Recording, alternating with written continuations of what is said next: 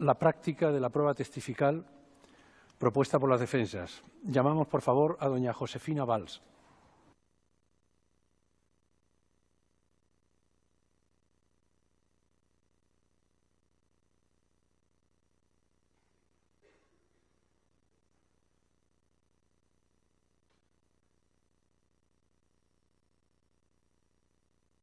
Buenos días, doña Josefina. Siéntese, por favor. Es usted doña Josefina Valls. Sí. Los datos de identificación que constan en el DNI son los correctos y están correcto, actualizados. sí. Eh, ¿Ha estado usted alguna vez procesada o, o ha sido investigada en alguna causa penal? No.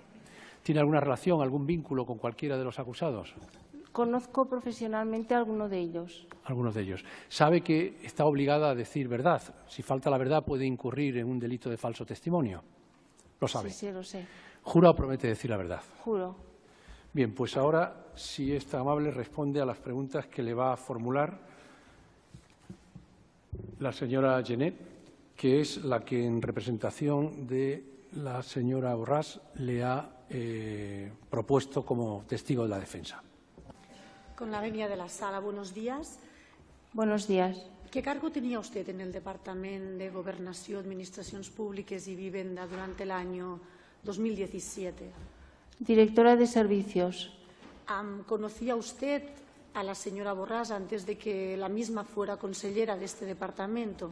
No, la conocí en junio de 2015 cuando ella entró como consellera. ¿Usted ya había trabajado anteriormente en la Administración Pública? ¿Con qué cargo y con qué funciones? Bueno, yo soy mm, funcionaria del Cuerpo Superior de la Generalitat y hace ya ve- 28 años que trabajo en la Administración. ¿Fue cesada usted cuando se aplicó el artículo 155 en su cargo? No, no. Am, ayer ya se explicaron las funciones ampliamente de, de los directores de servicios, ah, por tanto no voy a abundar en este aspecto, simplemente preguntarle, ¿tenía entre sus funciones el presupuesto, la gestión económica y la contratación administrativa? Sí, los recursos humanos, régimen interior y área TIC.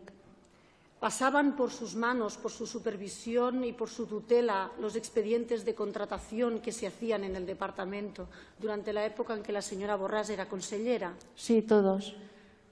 La contratación en la consellería, ¿quién, quién, quién era el competente? La consellera tenía delegada la competencia de contratación por importe igual o superior a 100.000 euros al secretario general y por importe inferior a la directora de servicios, que era yo. Por tanto, tenía delegadas todas las funciones en contratación, Todas. de todo tipo de contratos. Todas las funciones, sí. Mire, usted supervisó todos los contratos y todos los expedientes que se realizaron durante la época en que la señora Borrás ostentó este cargo. Sí, todos. Todos pasaban por la dirección de servicios. ¿Tramitó usted algún expediente de contratación o administrativo que tuviera, que tuviera relación directa o indirectamente con el referéndum del 1 de octubre? No, ninguno. Cuando, cuando se notificó, cuando tuvo lugar en abril del año 2017 la providencia del Tribunal Constitucional que mm, imponía la prohibición de disponer, por la disposición adicional 40 de la Ley de Presupuestos, de efectuar en todos los departamentos de la Generalitat cualquier gasto que pudiera estar relacionado con procesos refrendarios, cómo se notificó, cómo se tuvo conocimiento en su consellería y usted misma de esta, de esta prohibición. En concreto, la consellera nos, eh, en una reunión nos lo comentó y nos dijo que teníamos que aplicar la, la providencia del Tribunal Constitucional. Y a mí personalmente también me lo dijo. ¿Y la aplicaron? Sí, sí, totalmente. Cuando el Ministerio de Hacienda y el Gobierno estatal adoptó los diferentes acuerdos de la Comisión Delegada de Asuntos Económicos, todos estos acuerdos mm, se aplicaron en su departamento, se siguieron. Sí, todos, se cumplieron todos. ¿Qué supuso el, el acuerdo de la Comisión Delegada de fecha 21 de julio? Eh, a ver, eh, antes de este acuerdo, ya desde la intervención general, se mandaba toda la información económica al Ministerio de Hacienda y la interventora hacía un certificado diciendo que todo cumplía con el reglamento jurídico. A partir de este acuerdo, lo que cambió en relación a la, a la situación que teníamos anteriormente a consecuencia del otro acuerdo de la Comisión Delegada de 20 de noviembre del 2015, lo que cambió fue que los certificados pasaron a, ser, eh, en vez de mensualmente, semanalmente, y cambió también eh, que antes lo hacía la interventora general y a partir de este acuerdo de la Comisión de 21 de julio lo, lo hacía eh, los consejeros como titulares de cada una de las consellerías y también del sector público que tenían escrito. ¿El acuerdo de 15 de septiembre y el de 20 de septiembre se aplicaron también y qué consecuencias tuvieron? Sí, se aplicaron todos. Eh, el de 15 de septiembre supuso añadir un certificado más, que este certificado eh, venía a acreditar que, que, no se, que no se realizaban actividades ilegales ni contrarias a los tribunales y este certificado en concreto lo, hacían mm, todos los órganos de contratación cuando adjudicaban el contrato. En el caso de gobernación, por tanto, como he dicho antes, lo hacía el secretario general porque tenía competencia de igual a superior a 100.000 euros y en el caso de, menor, de menor importe la directora de servicios que era yo. Por tanto, el certificado lo hacía yo. Y también se certificaban todos los todos los pagos, se certificaban todos los pagos que se hacían mm, a través del fondo de maniobra. Por cada pago también se certificaba y estos certificados los hacía yo.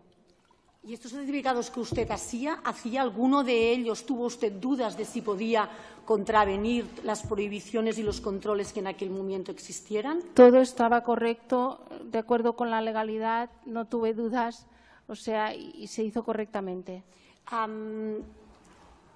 Usted, ustedes ah, trabajaban en su departamento, tenían ustedes un contrato marco con la empresa Uniposto, con quien trabajaban para envíos postales. Trabajábamos con la empresa pública Correos. Mm, para, para, el referéndum de 1 de octubre, ah, en su departamento, ¿se cedió, se puso a disposición para su celebración alguno de los locales adscritos a su consellería? No, ninguno siendo ustedes los competentes también en el ámbito de, la Administración local, ¿remitieron ustedes alguna comunicación, alguna carta a alguna de estas administraciones solicitando que facilitaran, pusieran a disposición alguno de los locales para la celebración de este referéndum? No, ninguna, ninguna carta se envió durante todo el periodo julio, agosto, septiembre del año 2017, ¿se dejó de certificar alguna sola semana en base a estos acuerdos de la, delegación? No, no se dejó de certificar nada. en su departamento ah, se tramitaron, se, llevaron a cabo ah, dos acuerdos marco, uno para el suministro de papeletas y otro para el suministro de urnas. Mi pregunta es si puede explicar brevemente de quién partió la iniciativa y si esto tenía alguna relación directa o indirectamente con la posibilidad, porque esto fue a finales del 2016, principios del 2017, de la celebración del referéndum del 1 de octubre.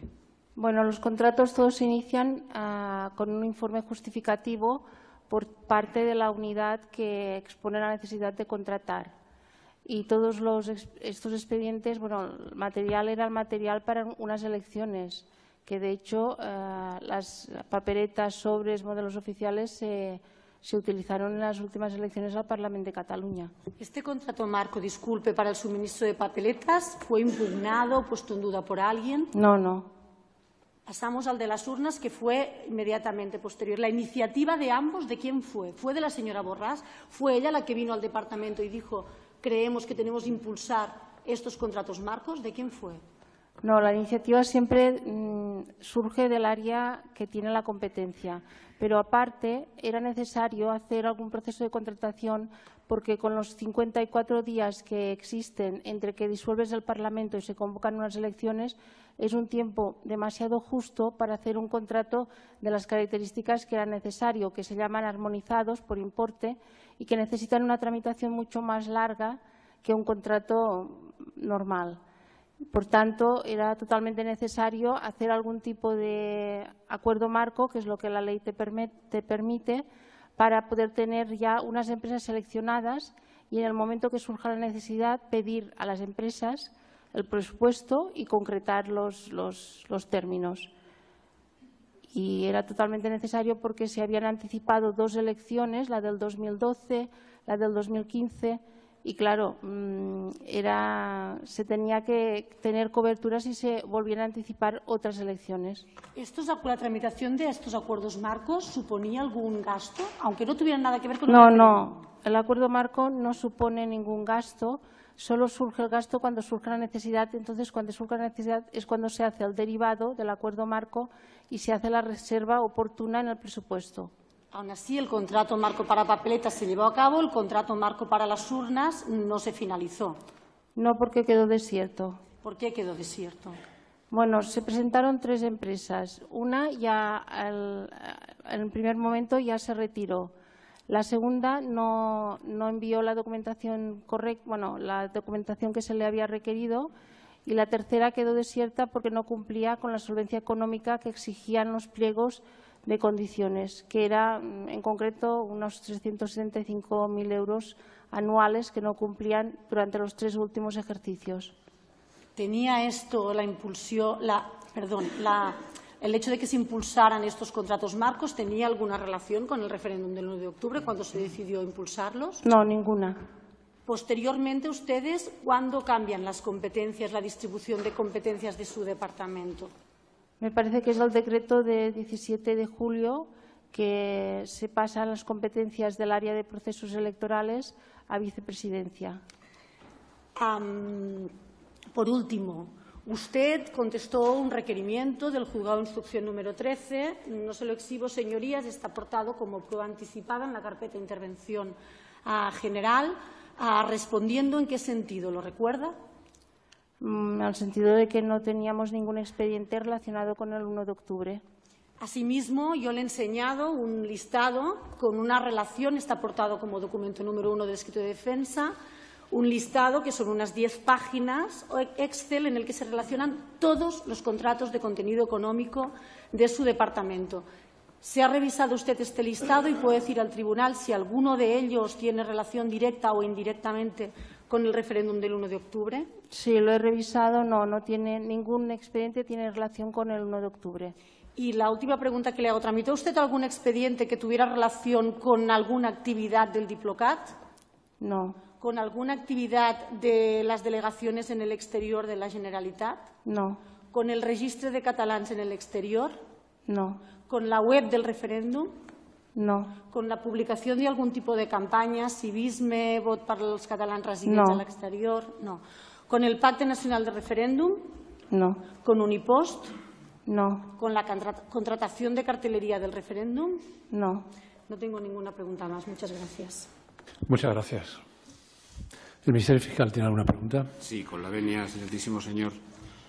Eh, buenos días. Buenos días. ¿Supo usted que la disposición adicional 40 de los presupuestos fue suspendida por el Tribunal Constitucional en Providencia de abril del año 17?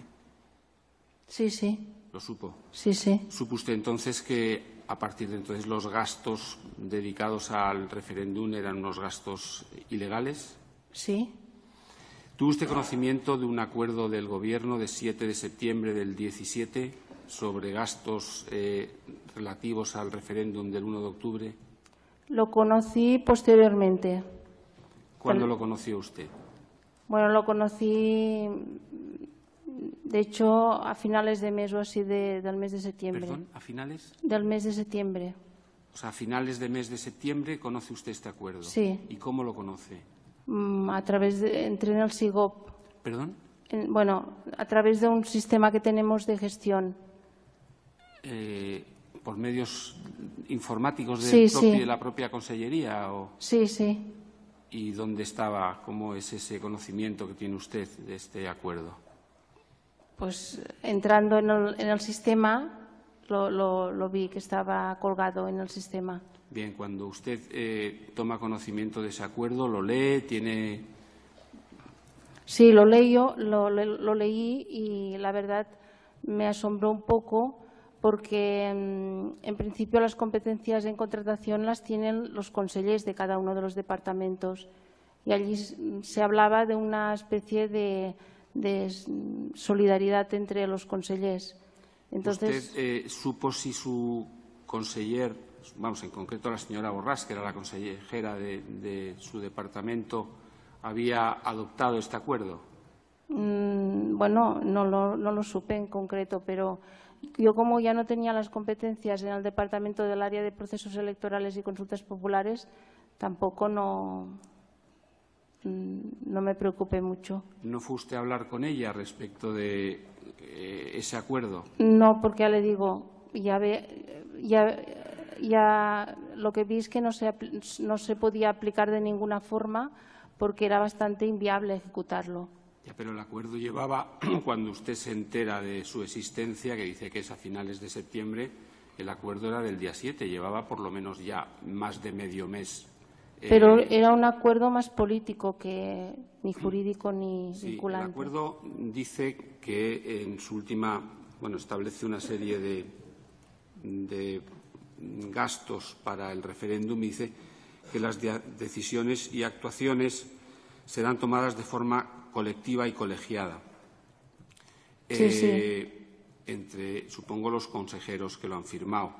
Entonces, yo le pregunto, ¿usted tenía delegadas las eh, eh, decisiones para contratar? ¿No habló sobre si este, este acuerdo le afectaba a usted, si era usted quien tenía como delegada de esas funciones que adoptar colectiva y colegiadamente, ni con quién, ni no se habló de esto. No, porque tenía claro que no se podía aplicar de ninguna forma. Pero lo tenía claro usted sola, no, no, no lo habló con nadie. No. Pues gracias, no hay más preguntas. Muchas gracias. La abogacía del Estado. Sí, con la venia, excelentísimo presidente. Buenos días, eh, señora Valls. Buenos em, días. Eh, antes, a preguntas de la defensa que le ha propuesto, eh, ha comentado usted, ha, respondido que mm, eh, no se envió ninguna carta a los entes locales pidiendo que pusieran a disposición de ningún proceso de referéndum sus locales. ¿Se hizo lo contrario? ¿Tiene usted constancia de que se hiciera lo contrario, es decir, que se remitiera a los entes locales una comunicación, carta, informándoles de que no se podían poner, a disposición esos locales como consecuencia de la suspensión acordada por el Tribunal Constitucional? No, no, no tengo conocimiento que se hiciera ninguna carta. Em, a partir del 17 de julio, tal y como usted ha relatado, eh, procesos electorales pasa a vicepresidencia.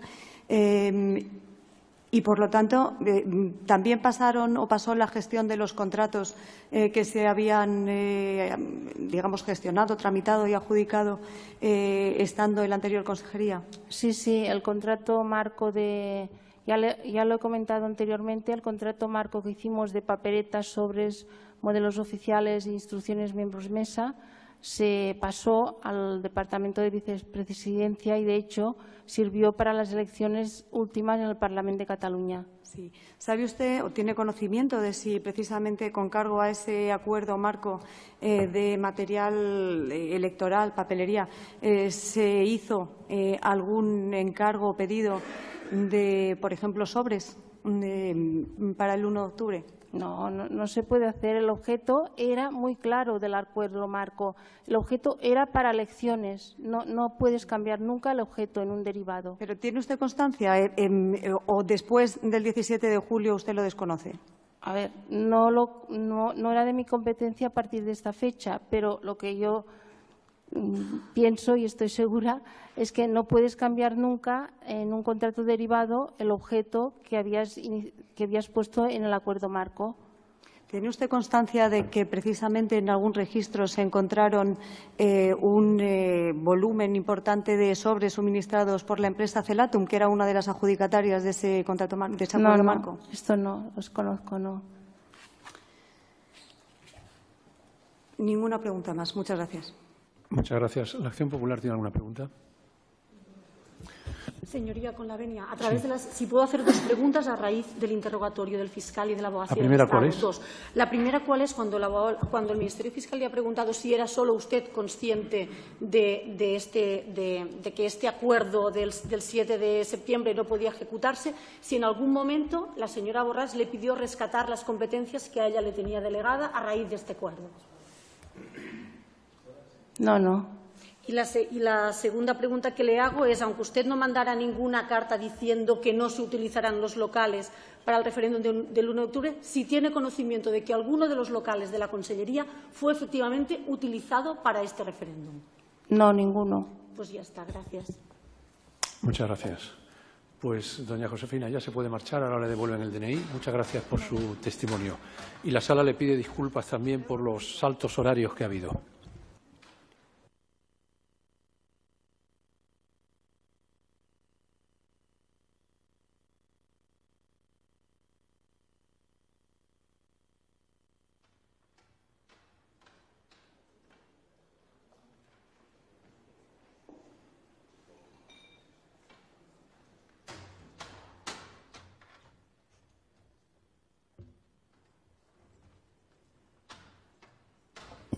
Llame al siguiente testigo, que es don Xavier Uríos.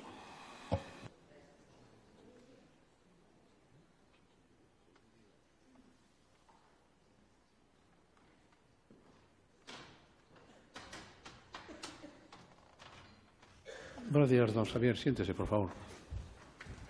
Es usted don Xavier Uríos. Sí, Los datos de identificación son los que refleja el DNI. Sí. Están actualizados. ¿Ha estado usted alguna vez investigado o procesado en alguna causa penal? No, ¿Tiene alguna relación con cualquiera de los acusados no tengo relación personal con ninguno de ellos y he coincidido con algunos profesionalmente. profesionalmente? Ya sabe que está obligado a decir verdad, de lo contrario puede incurrir en un delito contra la Administración de Justicia, de falso testimonio. ¿Jura o promete decir la verdad? Lo juro. Bueno, pues conteste, por favor, a las preguntas que le va a formular la señora letrada Genet, que le ha propuesto como testigo en defensa de la señora Borrás. Con la venia de la, de la sala y de su presidente, buenos días. ¿Cuál es su cargo actual y qué cargo tenía usted en el año 2017? Eh, mi cargo es director general de Asuntos Contenciosos en el Gabinete Jurídico de la Generalitat y en el momento, mm, de- en octubre del 2017, era jefe de la asesoría jurídica eh, del Departamento de Gobernación, Administraciones Públicas y Vivienda. ¿Usted es funcionario de la Generalitat? ¿Es funcionario de carrera? Sí, soy funcionario de carrera del Cuerpo de Abogados de la Generalitat. ¿Fue usted cesado durante la aplicación del artículo 155 en alguno de sus cargos? No, ¿Conocía usted a la señora Borrás con anterioridad a que la misma fuera nombrada consejera? no. Am, en su departamento, ¿qué competencia en concreto como jefe de asesoría jurídica realizaba usted en general? El- como jefe de la asesoría jurídica, mis funciones eh, eran el control de todos los actos de naturaleza eh, que podían tener contenido económico que tuvieran trascendencia jurídica y eh, informaba. eh, hay actuaciones en las cuales mi asesoramiento es preceptivo y en otros pues, puede ser facultativo. ¿Recuerda usted si en la, se tramitó algún expediente de contratación en contra de su informe cuando era preceptivo de su informe y cuando era facultativo de su informe jurídico, en contra de su criterio jurídico durante la época en que la señora Borrás fuera consellera? No, ninguno. ¿Tuvo usted conocimiento de que en el mes de abril del año 2017 el Tribunal Constitucional dictó una providencia en relación a la disposición transitoria 40 de la Ley de Presupuestos y en qué afectó esto a su consejería? Sí, eh, la, la providencia de 4 de abril del 2017 del Tribunal Constitucional en relación a la disposición adicional 40 de la Ley de Presupuestos eh, le fue eh, notificada personalmente a la, a la consejera. eh, su gabinete de, la consejería nos la, nos la bajó a la asesoría jurídica para que lo tuviéramos presente a los efectos de su cumplimiento y no eh, los términos en los que estaba redactada, que hacía referencia a, no realizar cualquier actuación relacionada con el referéndum del 1 de octubre o impedir cualquier iniciativa en ese sentido, fue seguido escrupulo- escrupulosamente en el sentido de que con anterioridad no se estaba haciendo eh, nada que tuviera relación con el, con el referéndum del 1 de octubre, tampoco se hizo nada eh, con posterioridad y eh, al, margen de que más eh, posteriormente también perdimos las competencias en la materia, pero lo que es cierto es que una vez que se planteó una, duda sobre el alcance de esta providencia en relación a un acuerdo marco que estábamos llevando a cabo y que fue, objeto de una querella por parte del Ministerio Fiscal, para evitar cualquier duda o, eventual desobediencia a lo que decía el Tribunal Constitucional, en la medida que estaba abierto un procedimiento eh, de hacer alegaciones ante el Tribunal Constitucional eh, sobre, eh, sobre, la, sobre, la, impugnación realizada, a petición del, por indicación de la consellera y de acuerdo con el secretario general, se pidió al Gabinete Jurídico de la Generalitat que se formulara expresamente consulta al Tribunal Constitucional sobre el alcance de en qué medida ese acuerdo marco podía estar afectado o no por dicha, dicha suspensión. Señorías, este, para no exhibírselos, el documento número 6 aportado junto al escrito de defensa. Es decir, la pregunta es, cuando se recibió esta providencia, aparte de no hacer ningún gasto vinculado con esta prohibición, motivó una actuación positiva de su departamento en el sentido de preguntar al Constitucional si lo que estaban haciendo, que había alguna duda, era esto así. Sí, en efecto, como se trataba de, eh, como era muy claro, eh, lo que no se podía hacer y para evitar cualquier duda en lo, que era funcionamiento ordinario del departamento y que se pudiera pensar que pudiera estar vinculado directa o indirectamente con el referendo del 1 de octubre, lo más razonable era consultarlo al Tribunal Constitucional para que por parte de este, eh, indique, si lo consideraba oportuno, pues eh, indicara que no se podía proceder o no y, en ese caso pues no se hubiera continuado. ¿Y qué contestó el Tribunal Constitucional? El Tribunal Constitucional eh, no contestó expresamente a la petición, pero al cabo de poco tiempo fue cuando dictó la sentencia en que declaró en que se pronunció sobre el recurso de inconstitucionalidad planteado y determinó la, constitucionalidad eh, o, la posibilidad de hacer gastos con cargo a la partida presupuestaria que está afectada en todo aquello que no estuviera vinculado con el referéndum del 1 de octubre. En este sentido, ratificó eh, a, nuestro juicio que, la, actuación que habíamos llevado a cabo era correcta. Usted, ante la interposición que usted ahora ha mencionado de una querella en su día por parte del Ministerio Fiscal, mm, en la que ponía en duda la legalidad del inicio de este contrato marco para la homologación de empresas de urnas para procesos electorales en general, ¿realizó algún informe jurídico en relación a este expediente? Sí, cuando, tuvimos conocimiento de la, querella que había sido interpuesta por parte del Ministerio Fiscal, la, consellera eh, pidió expresamente eh, informe jurídico sobre lo que teníamos que hacer para, proceder, eh, si debíamos continuar o no con el, procedimiento del acuerdo marco. Yo hice un informe jurídico analizando las circunstancias del caso eh, que, si quieren las, explico, pero que en principio, fruto del análisis, jurídico que, hice, consideré eh, eh, que, no, que, tratándose de una naturaleza de acuerdo marco, que en principio no, suponía ninguna contracción, que por otro lado no tenía relación directa alguna con el referéndum y también las circunstancias de carácter penal, era una querella simplemente anunciada en prensa que ni siquiera había, sido admitida, todo que habían pasado más de tres semanas. Eh, me, llevaron a considerar que, mm, además de que en definitiva se trataba del inicio del procedimiento, que no habían razones para, cautelarmente continuar con él. Es decir, usted en el marco de este expediente para, el contrato marco del suministro de urna realizó dos informes jurídicos, uno el propio del expediente y otro con posterioridad a la interposición, no, a la interposición, a la noticia de prensa de interposición de la querella, ratificando la legalidad, a su juicio, de estos expedientes. Sí, el primer informe es el informe preceptivo que, incluye cualquier pliego de cláusulas administrativas de contratación que requiere informe preceptivo de la asesoría jurídica y el segundo fue un informe a, petición de la, de la consellera y, por otro lado, en relación a noticias que eran simplemente, no teníamos constancia ni siquiera formal porque todo estaba en, en noticias todas de prensa. Señorías, son informes que obran en las diligencias previas 3-2017, actuaciones tomo 1 para no exhibírselos. Correcto, correcto. Folios 136 y 150 de las actuaciones. Mire, en su consejería, cambiando de tercio, ¿se impulsó y cuándo, en qué ámbito temporal, una ley para la tramitación o para la regulación del voto electrónico? Sí, eh, como consecuencia de la, de la reestructuración del Gobierno en el año 2015 fue cuando el Departamento de Gobernación dejó de tener competencias en materia de relaciones institucionales y pasó a, tener un perfil más técnico, pero coincidió también con, eh, las elecciones del año eh, 2015 en los cuales se, pla se, se planteó en la práctica muchos problemas por el voto de los catalanes en el exterior como consecuencia de la modificación de la Ley Orgánica de Régimen Electoral General en el año 2011, que al pasar a ser un voto rogado eh, dificultaba mucho el acceso. La consellera estaba muy preocupada mmm, por todos los problemas que, tenían los, para poder votar los catalanes y, de hecho, en el 2015 se dirigió en diferentes ocasiones a la Junta Electoral Central pidiendo ampliaciones de, del plazo de voto y otras circunstancias. Y eh, una de las soluciones que se, le, dio es la incorporación de los medios electrónicos o del voto electrónico de los catalanes en el exterior. En este sentido, mm, se, el secretario general y ella fueron a la Junta Electoral Central también a evaluar la posibilidad de tirar adelante una ley de esta naturaleza y eh, fue cuando se empezó a tramitar el proyecto, el proyecto de ley de, voto electrónico de los catalanes y catalanas en el exterior, que se planteaba sobre todo si teníamos competencia o no, sobre si era régimen electoral general o no. Y eh, toda la tramitación se siguió. Eh, se emitió dictamen favorable del Consejo de Garantías Estatutarias en la medida de que se consideraba por parte del, Consejo de Garantías Estatutarias que teníamos competencias en la materia, si bien el, el, proyecto de voto electrónico decayó como consecuencia de la finalización de la legislatura eh, por la disolución del Parlamento. Precisamente en esta legislatura está previsto retomar la tramitación de esta ley. Sí, de hecho, las iniciativas que decaen como consecuencia de la finalización de la legislatura con la nueva legislatura se pueden volver a, a impulsar y, de hecho, se, han, se, ha vuelto a impulsar y está en la tramitación parlamentaria muy avanzada. ¿Tenía relación, por tanto, esto con el referéndum del 1 de octubre? Eh, no, en absoluto.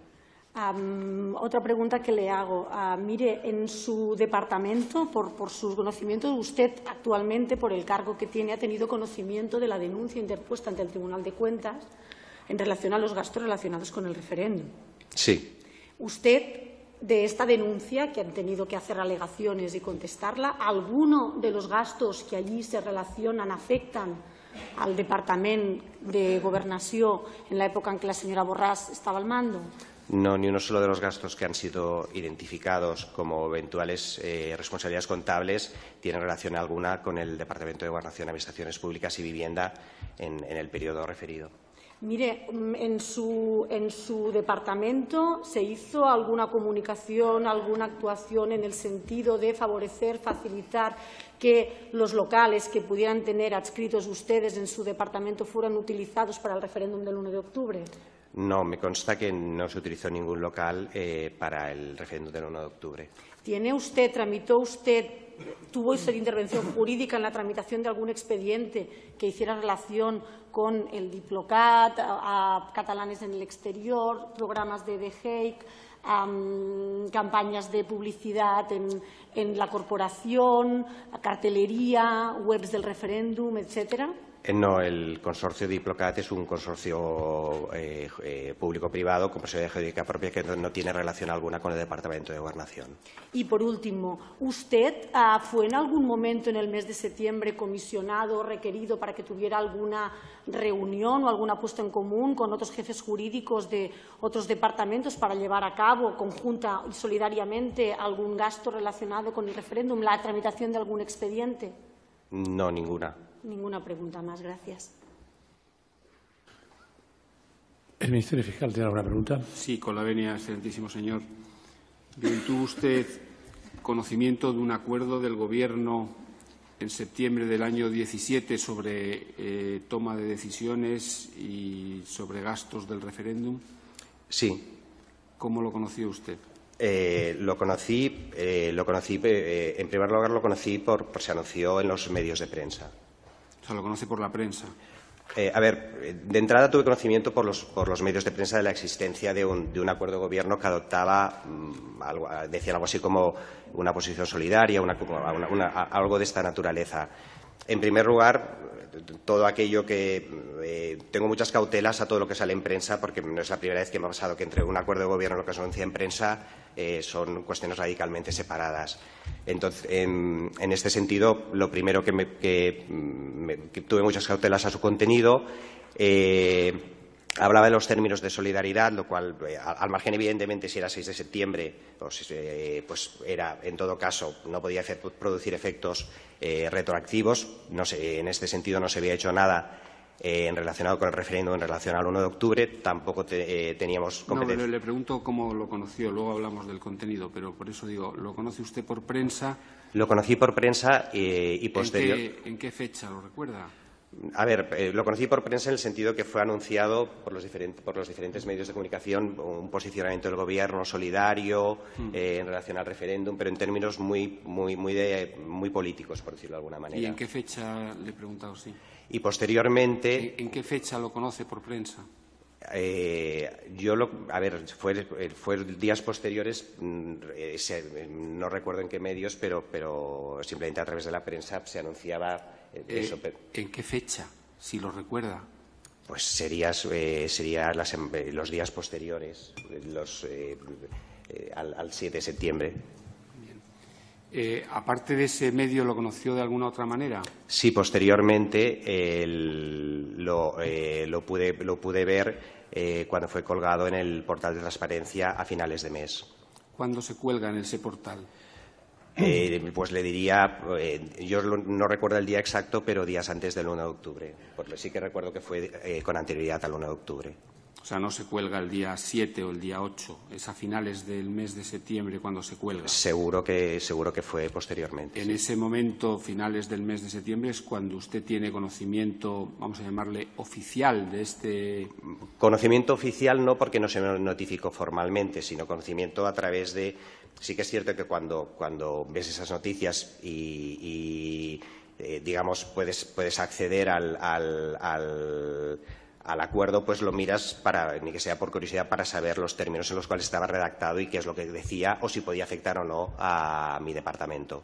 Pero cuando está colgado en esa página, esa página a la que usted se refiere es una página oficial de la Generalitat. Es una página eh, oficial de la Generalitat de acceso cuando accede a la página y está, es una notificación o un conocimiento oficial del es, acuerdo. Bueno, es, no es, no es, eh, entra dentro de lo que es publicidad activa, en lo que es el portal de transparencia. Entonces, es, acceso por parte de toda la ciudadanía, de todo el mundo, a los acuerdos. ¿Sabe si la señora Borrás eh, tomó parte en ese acuerdo? Eh, la señora Borrás, como miembro del Gobierno, pues, en principio, tomó parte de ese, en ese acuerdo. ¿Sabe usted el contenido del acuerdo? Sí. ¿Recuerda qué decía sobre la adopción de decisiones? Sí, eh, utilizaba los términos de, colectiva y, colectiva o colegiada y solidaria, los cuales son términos que en el ámbito del derecho administrativo me extrañó su carácter inusual porque, por otro lado, eh, la competencia es irrenunciable y la ejerce el órgano que, la tiene legalmente atribuida. Con lo que Hablaba de una toma de señoría, decisiones. que le dejara acabar el Ministerio Fiscal las explicaciones porque son relevantes. Da la impresión de que ha a mí me ha dado la impresión de que terminaba la respuesta. ¿Se ha sentido usted interrumpido? Pues, añada, por favor, lo que... Intentando, bueno, no, no, añada, añada lo que quería añadir, por favor. Eh, sí, en el sentido de que... Ha hablado usted de solidaridad, de decisiones colegiadas, colectivas y solidarias, sí, que le extrañó en el ámbito del derecho administrativo. Sí, lo que me estaba refiriendo ¿Qué quiere añadir? Sí, que, eh, lo que me estaba refiriendo es que en el ámbito del derecho administrativo la competencia es irrenunciable y se ejerce por órgano que la tiene legalmente atribuida, es lo que dice la Ley 40-2015. A partir de eso, que un, que un órgano colegiado decida eh, de manera mm, tomar decisiones eh, cuando, por otro lado, eh, no, producen efecto en relación al, pasado y que alteraría criterios legales, desde mi punto de vista es irrelevante desde el punto de vista jurídico y por eso lo enmarqué más en una, declaración de contenido político que no, que no, otra cosa, sobre todo especialmente atendiendo a que, a que, a que en ese gobierno. de igual manera, en la medida que nosotros no teníamos competencias en, la, materia y, pues también consideré que, no tenía relación alguna con, vamos, que no, que no, producía eficacia alguna eh, en relación a lo que era el referéndum de octubre ni la posición del, ni a la posición del departamento. Dice usted que ese acuerdo que eh, establecía que la toma de decisiones sería colectiva y colegiada y que supondría una asunción solidaria de responsabilidad, mm, alteraría contenidos legales, ha dicho. ¿Qué contenidos legales alteraría?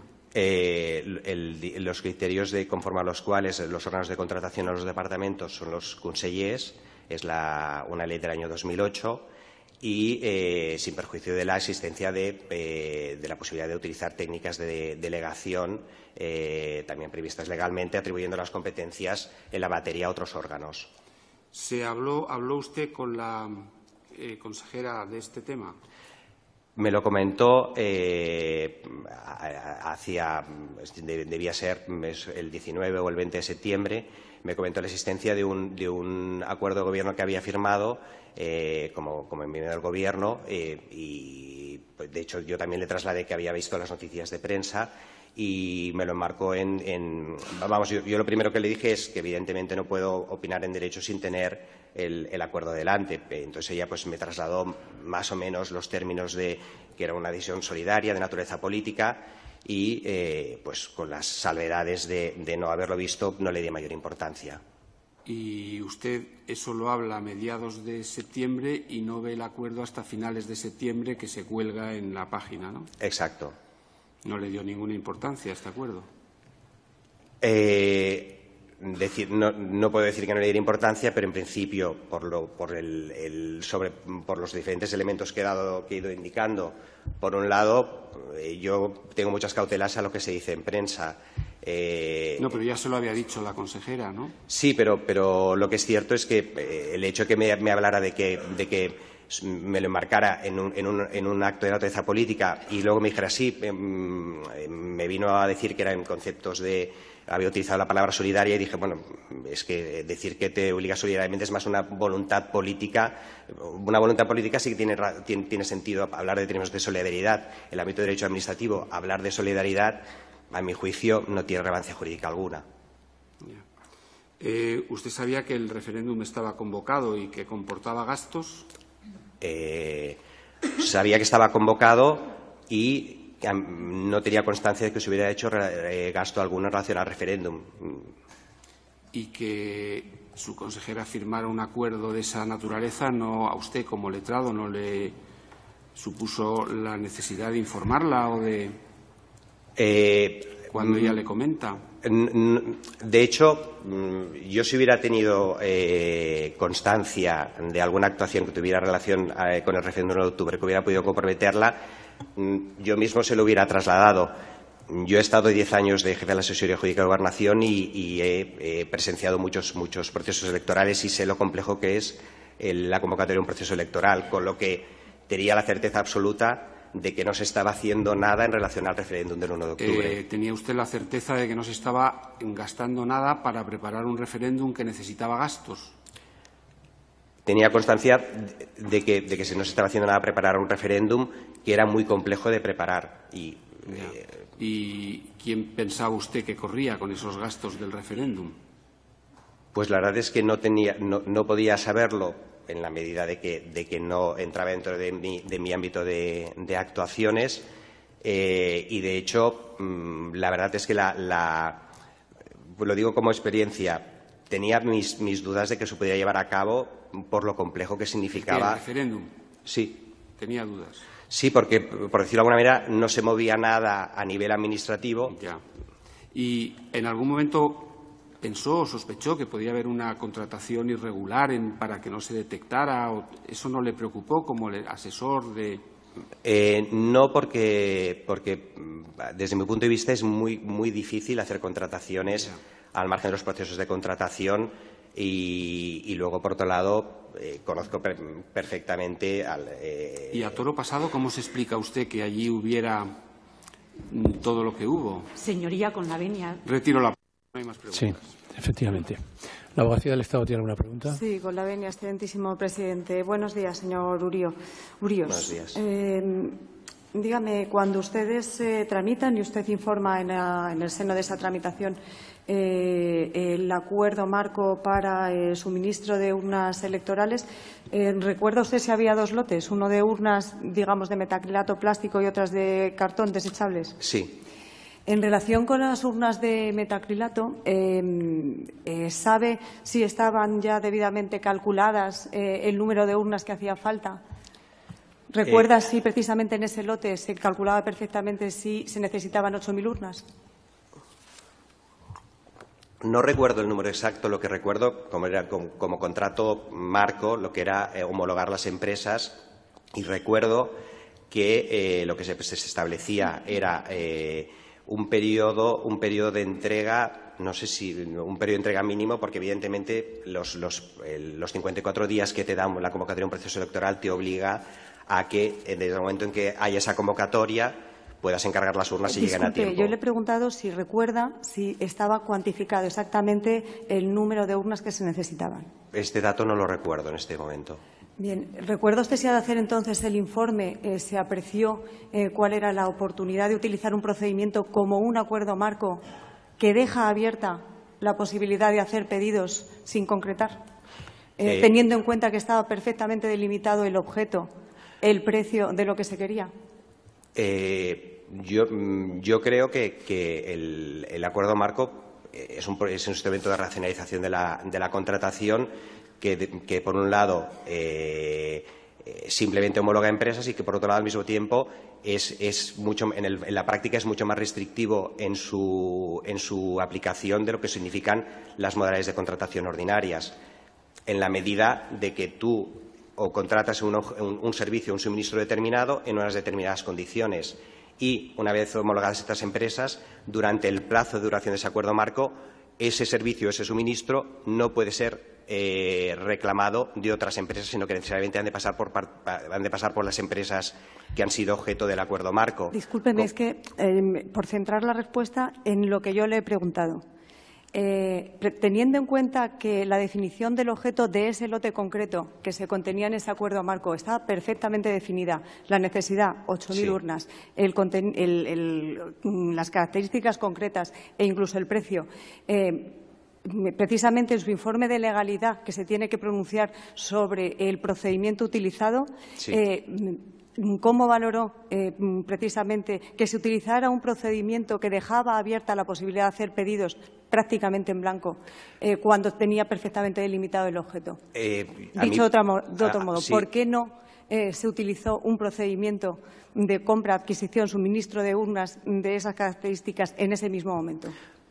En mi opinión, un acuerdo de adquisición, un, contrato de adquisición de urnas hubiera sido mm, peor en el sentido de que, en definitiva, tú lo único que haces es homologar em, empresas. En el momento de hacer la contratación derivada, aparte estaba el objeto, como usted misma ha dicho muy bien, estaba muy delimitado. Eran eh, procesos electorales consultas populares al amparo de la, Ley 10 2014 y eh, referéndums eh, acordados al amparo de la Ley Orgánica 1 1981, con lo que este era el objeto del acuerdo marco. No se podía adquirir urnas para nada que tuviera relación con este acuerdo marco. Eh, a partir de eso, por el contrario, si hubiéramos adquirido urnas directamente, esas urnas están allí y hubieran podido entonces utilizarse para cualquier cosa. Bueno, el objeto de su contrato, en realidad, luego es cierto que lo tuvieron que modificar y delimitar que tenían que ser urnas para elecciones eh, al Parlamento catalán. No, bueno, precisamente en el objeto estaba previsto elecciones al Parlamento. Eran elecciones, procesos electorales, es decir, elecciones al Parlamento, consultas populares y referéndums al amparo de la Ley Orgánica 1 1981, o 80, perdón. Mm, dígame, usted eh, anteriormente a respuestas a Fiscalía Em, ha comentado que le sorprendió el, acuerdo em, el acuerdo del Consejo de Gobierno, eh, pero que no le dio más importancia porque desde el punto de vista administrativo esto no conllevaba ninguna alteración competencial. Em, eh, desde el punto de vista precisamente competencial, eh, ¿puede usted confirmar si la delegación de competencia supone algún desplazamiento de la competencia delegada o la mantiene el propio órgano que la tiene atribuida legalmente? Sí, la delegación de competencias, una vez es publicada oficialmente, altera los criterios de competencia, pero siempre a partir de la publicación oficial en el diario oficial correspondiente. ¿Altera la titularidad? ¿Se, no, perdón, el Ejercicio, el, ejercicio, perdón, la titularidad no la altera, el ejercicio. Es decir, ¿la responsabilidad del ejercicio de esa competencia reside en el titular de la competencia? ¿Me lo puede volver a repetir para contestar con precisión? Si la responsabilidad por el ejercicio de una competencia delegada se mantiene en el titular de la competencia y no en quien la tiene delegada. En principio, los actos realizados por delegación se entienden realizados por el órgano delegante. Por el delegante, ¿verdad? Bien. De cualquier forma, usted también ha dicho que eh, no le dio mayor trascendencia a este acuerdo por cuanto se refería a términos como solidaridad, que en el ámbito administrativo no tienen relevancia. Eh, no obstante, eh, cuando se trata de competencias que residen en órganos colegiados o actos, actuaciones de órganos colegiados, eh, se individualiza por personas o, eh, se atribuye el acto, la actuación al órgano colegiado en su conjunto?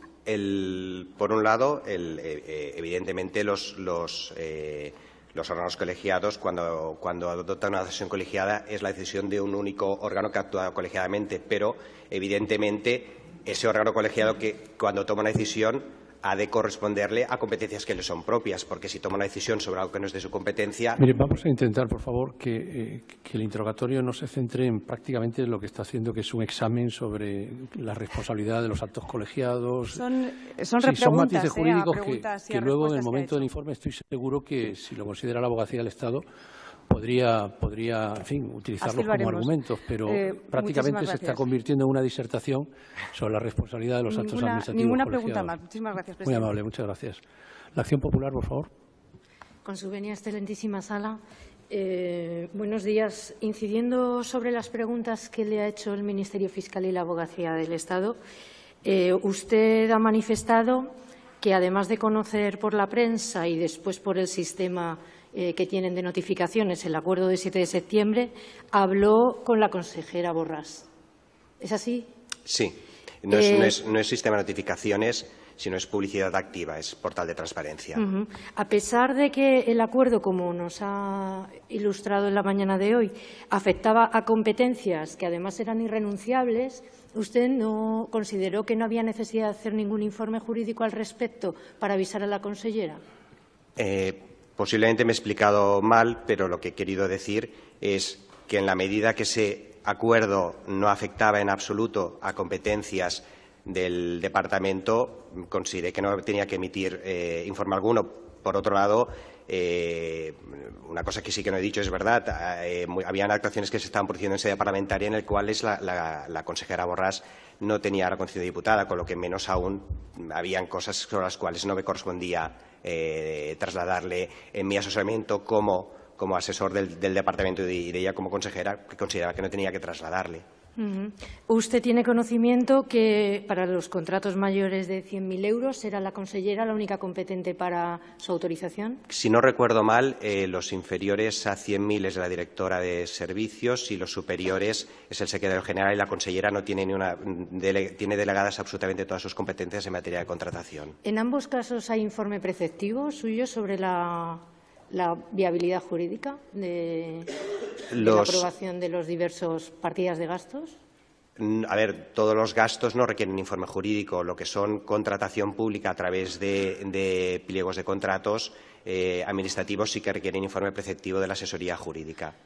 Em, entonces, quiere decir eh, que cualquier gasto dentro del acuerdo marco sí que es preceptivo su informe en, la, tramitación del acuerdo marco es preceptivo el informe de la asesoría jurídica. Posteriormente, cuando se produce la contratación eh, derivada de ese acuerdo marco, lo que eh, son las empresas que están previamente seleccionadas, como está todo eh, extremadamente regulado, la empresa, el precio, es simplemente un procedimiento que se, realiza, creo que, incluso yo no lo he hecho personalmente, pero creo que incluso está eh, está gestionado electrónicamente, pero que ya se, eh, selecciona la empresa a través de ese procedimiento eh, electrónico. Informó, para terminar, informó desfavorablemente en alguno de los, de los presupuestos presentados dentro de ese acuerdo marco, especialmente a partir del 7 de septiembre es que el acuerdo marco quedó que eh, se refiere al acuerdo marco. Sí. El, acuerdo marco quedó desierto a principios de junio, no recuerdo cuándo, pero a principios de junio con lo que no, no, quedó totalmente totalmente ineficaz.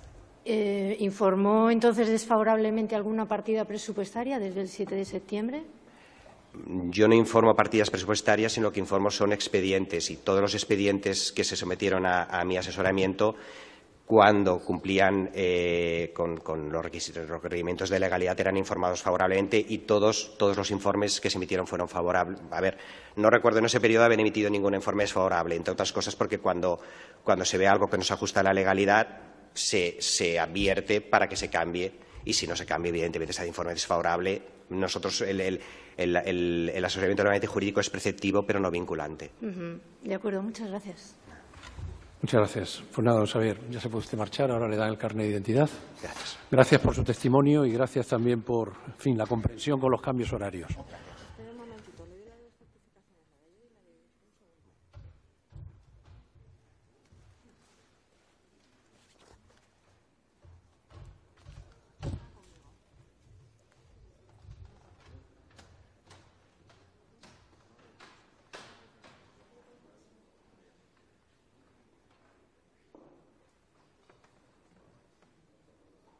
Llame, por favor, al siguiente testigo, que es don Pau Viloria.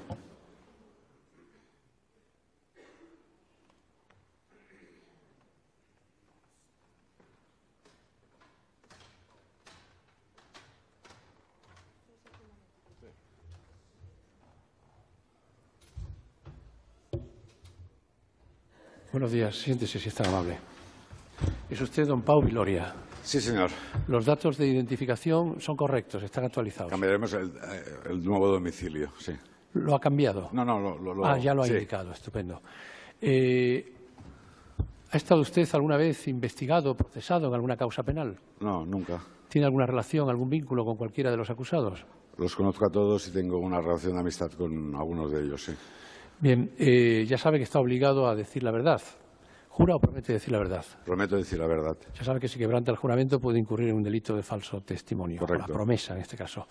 Bueno, pues por favor responda a las preguntas que le van a formular el letrado que asume la defensa de don Santiago Vila, que le ha propuesto como testigo. Con la venida de la eh, excelentísima, sala. Buenos días, señor Villoria. Buenos días. Eh, eh, ¿Cuál es su profesión? Ah, yo soy abogado y soy funcionario del Cuerpo Superior de la Generalitat desde el año 1992. Bien. En el año 2017, ¿qué cargo ocupaba usted en la Generalitat de Cataluña? En el año 2017 era consejero, ah, era secretario general del Departamento de Empresa y Conocimiento. Anteriormente lo había sido del Departamento de Cultura y también del Departamento de Territorio y Sostenibilidad. Eh, ¿Puede explicar brevemente cuáles eran las competencias de las secretarías departamentales de la Generalitat de Cataluña? Sí, eh, la Secretaría General Departamental es la, o el Secretario General es la segunda autoridad departamental y ejerce funciones eh, ejecutivas y de representación. su cometido principal es la, coordinación, la coordinación interna del departamento y de él depende eh, lo que es la administración de personal, la elaboración del presupuesto, el control del gasto, el apoyo jurídico y también eh, la gestión de los recursos materiales, técnicos e informáticos. Bien. ¿Cuál sería el cargo equivalente en la Administración General del Estado? Pues en la Administración General del Estado sería el subsecretario ministerial. Eh, ¿Usted fue cesado con la aplicación del artículo 155 de la Constitución española?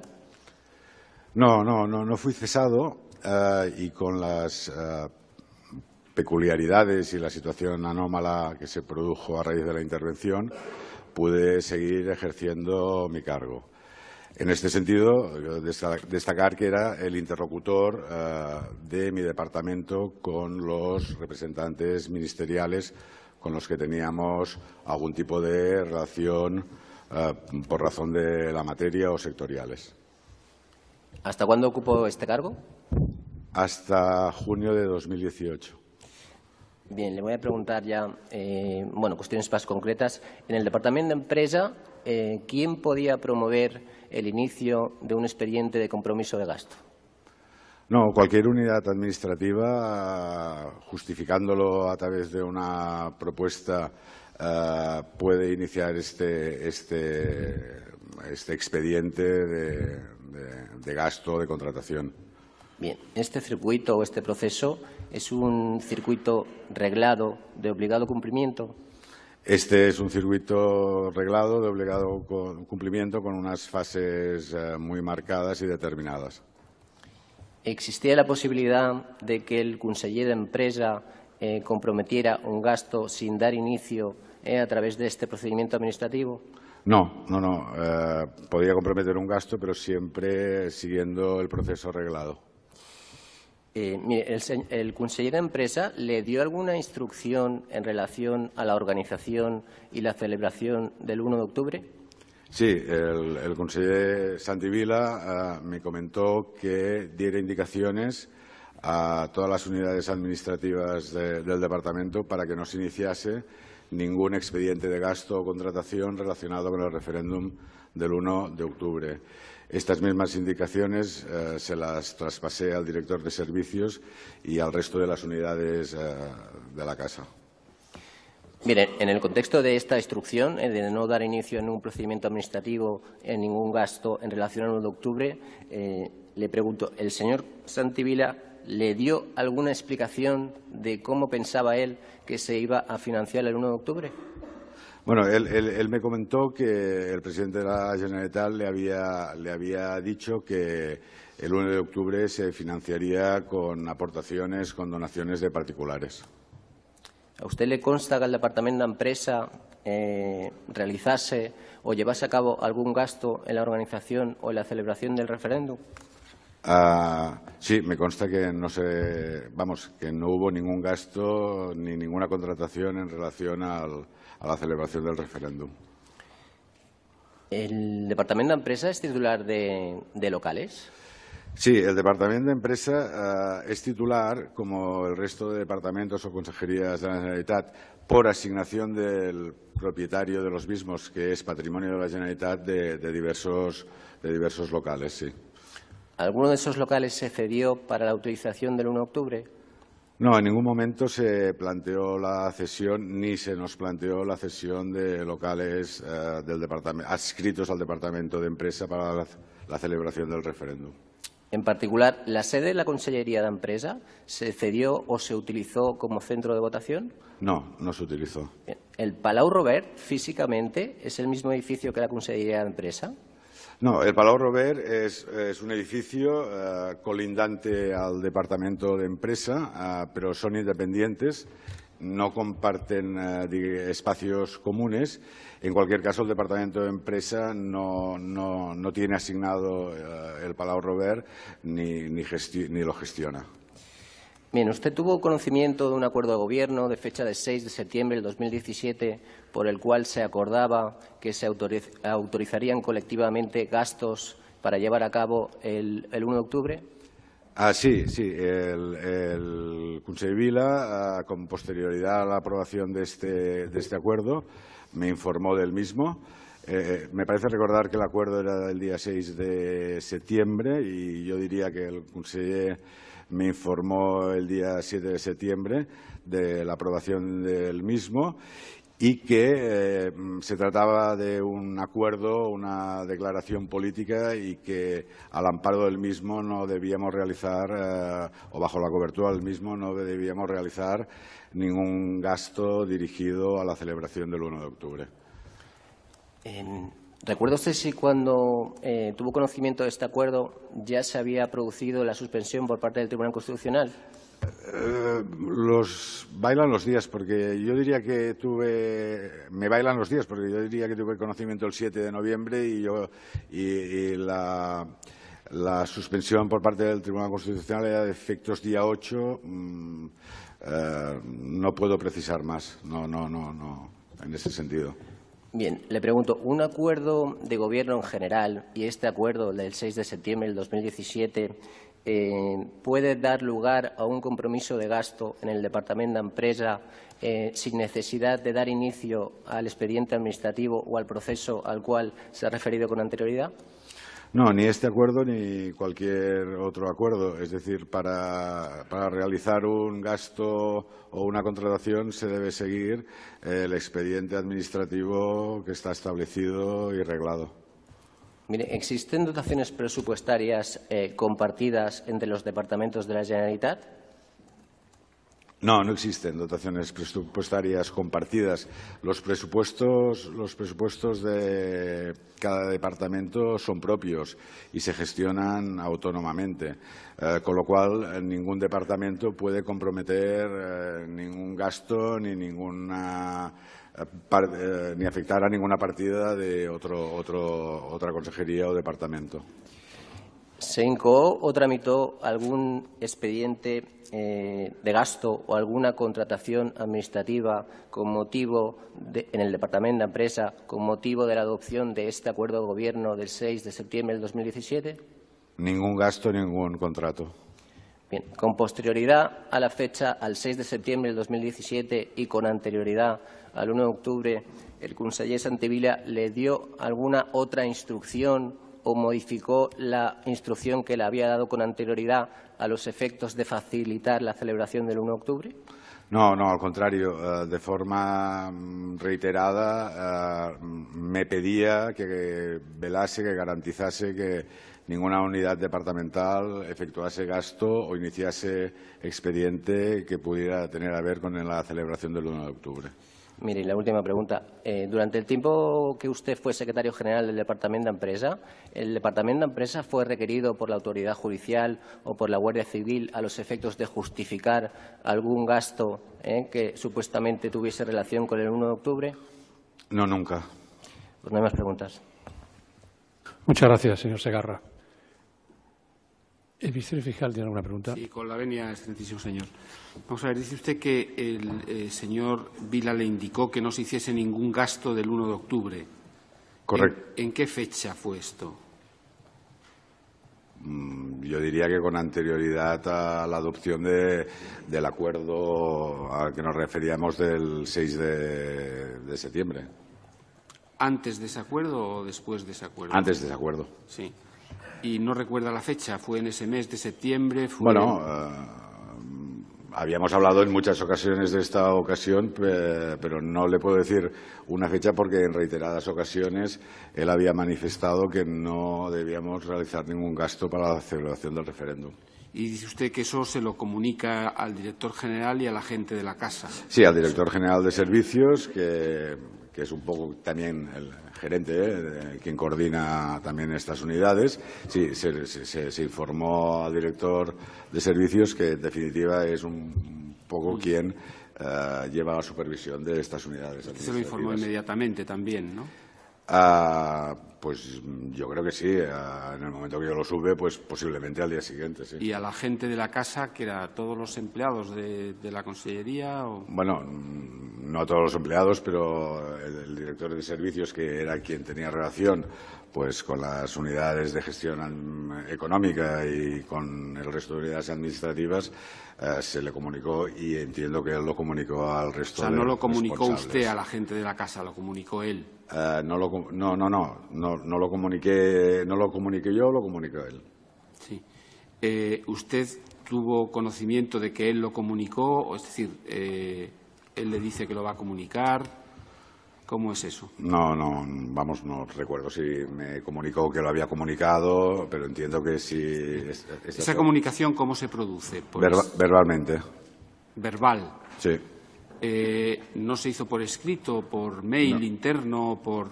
No, no, no.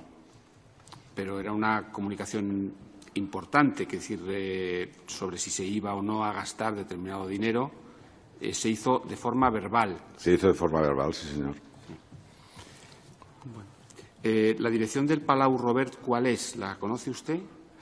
La dirección postal. Sí.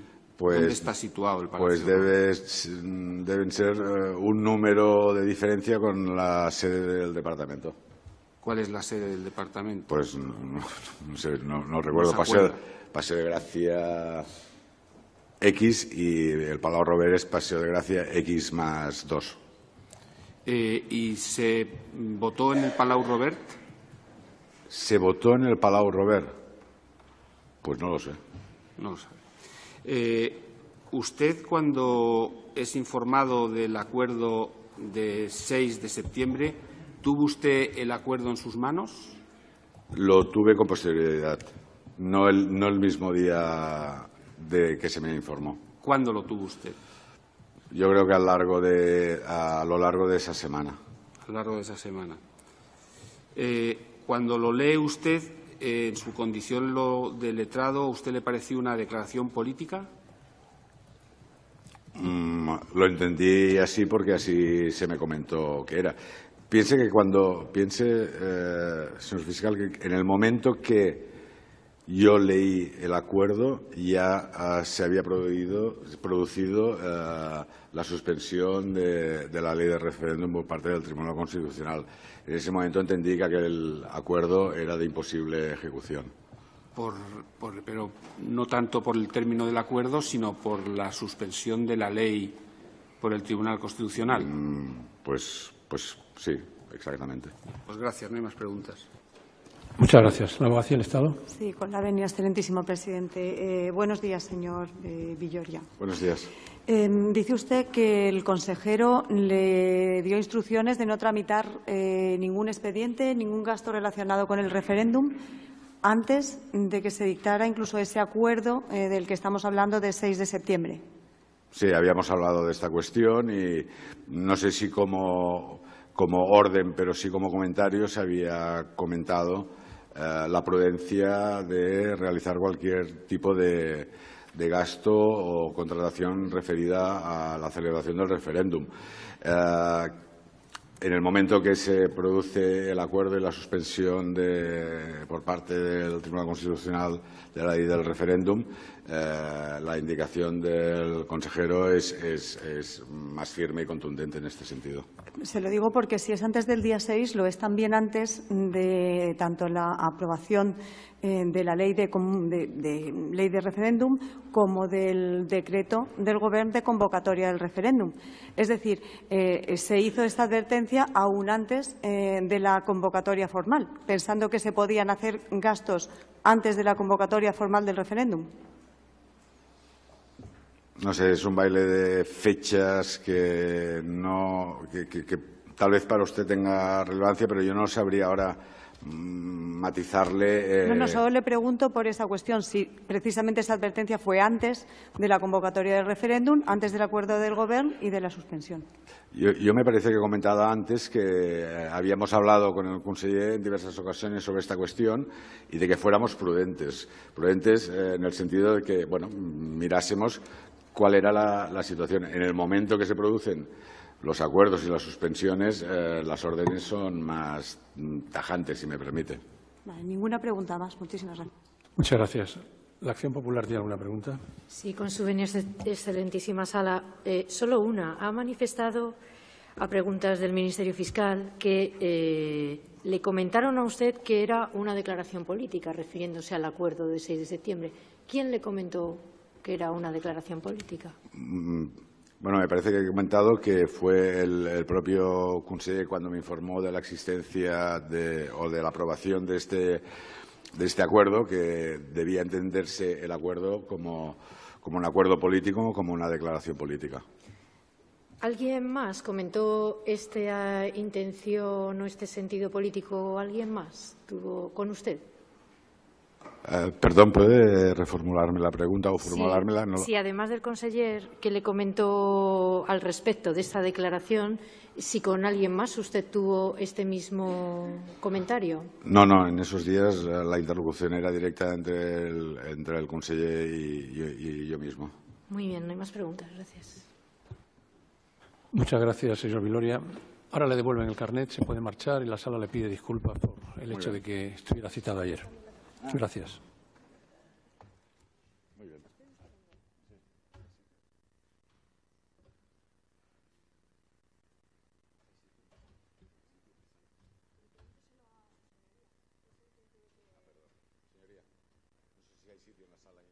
Sí, por supuesto, se puede quedar.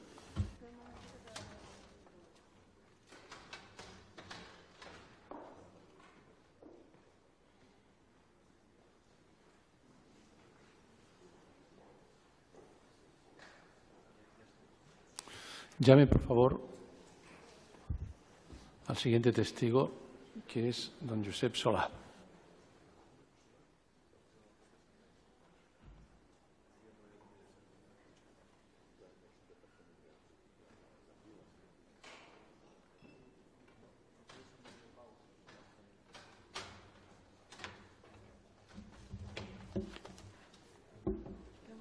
Buenas tardes, siéntese, por favor. Es usted don Josep Solá. Exacto. Los datos de identificación que constan en el DNI están actualizados, ¿verdad? Sí, correcto. ¿Ha sido usted alguna vez procesado o investigado en alguna causa penal? ¿Tiene alguna relación, algún vínculo con cualquiera de los acusados? Profesional. ¿Perdón? Profesional. Profesional. Eh, ya sabe que está obligado a decir la verdad. Si falta la verdad, puede incurrir en un delito de falso testimonio. ¿Jura o promete decir la verdad? Juro. Bien, pues ahora, por favor, responda a las preguntas que le va a formular el letrado señor Segarra, que en defensa del señor Vila le ha propuesto como testigo. Las respuestas, por favor, las dirige al micrófono, aunque el letrado esté allí en la esquina. Sí, con la venida de la excelentísima sala, buenos días. Eh, mire, ¿qué cargo ocupaba usted en la Generalitat de Cataluña en el año 2017? Desde julio de 2017 ocupaba el cargo de director de servicios del Departamento de, Empresa y Conocimiento. Anteriormente había ocupado este mismo cargo en unos departamentos de Territorio y de Cultura desde 2011. Bien, ¿usted fue cesado con la aplicación del 155 de la Constitución española? Eh, no, no fui cesado. Continué ejerciendo mi cargo eh, hasta, hasta junio de 2018. ¿Podría explicar brevemente cómo estaban organizadas las competencias dentro del Departamento de Empresa? Sí, sí. Eh, las competencias eh, mm, de contratación le corresponden al, titular del departamento, al consejero, excepto en lo que se refiere a los contratos menores y a los derivados de acuerdo marco por delegación del consejero, las facultades de órgano de contratación se derivan al secretario general, que puede autorizar gastos hasta un máximo de un coste estimado neto de 300.000 euros. A su vez, el secretario general puede otorgar las facultades de órgano de contratación al director de servicios que puede eh, eh, firmar contratos por valor de si no recuerdo mal, hasta 75.000 euros. En cuanto, en cuanto a gasto, eh, eh, le corresponde al director de servicios, puede autorizar gastos hasta un máximo de... Concrete algo más la, en pregunta, por favor, repartidas entre el ¿eh? conseller, el secretario general y director de servicios. Es así, ¿no? Sí, es así. conseller puede autorizar contratos hasta un coste estimado neto superior a 300.000 euros, el secretario general entre 300.000 euros y 75.000 euros y por debajo de esta cantidad le corresponde al director de servicios. ¿Podría explicar eh, muy brevemente, por cuanto este ha sido objeto de otras declaraciones, cuál era el proceso administrativo eh, para, llevar, para el compromiso del gasto dentro del Departamento de Empresa? Muy brevemente, por favor. Bueno, intentaré hacerlo a través de cinco pasos. vamos a intentar, por favor, que en la medida en que ya ha sido descrito el proceso y que incluso ha sido calificado como un proceso muy reglado, muy estricto, si hay algún punto concreto relacionado con lo que es la estrategia de defensa para evitar la repetición y evitar un relato de competencias y de, trámites, por favor. Bien. Eh, le voy a preguntar una, una pregunta concreta. ¿Existía la posibilidad de que el conseller comprometiera un gasto eh, sin dar inicio al procedimiento eh, administrativo arreglado? Ah, no, de ninguna manera. Es un proceso totalmente arreglado, eh, totalmente cerrado y el conseller de ninguna manera podía comprometer ningún gasto. Bien, ¿se le hizo a usted alguna indicación en relación a la organización y la celebración del 1 de octubre en cuanto a sus competencias por parte del conseller o por parte del secretario general? Eh, directamente por parte del secretario general me indicó eh, que el departamento no realizaría ninguna, ningún gasto relacionado con las actividades del 1 de octubre. Eh, ¿Conoce usted si el departamento de empresa eh, realizó o soportó algún gasto o llevó a cabo algún tipo de contratación en relación a la celebración del 1 de octubre? No, ninguna. No conozco eh, ninguna contratación. Eh, todas, todas las jurisdicciones están perfectamente fiscalizadas previa o posteriormente por la intervención delegada. Bien, ¿usted tuvo conocimiento de la adopción de un acuerdo de gobierno en fecha 6 de septiembre del 2017 en relación a la celebración del 1 de octubre?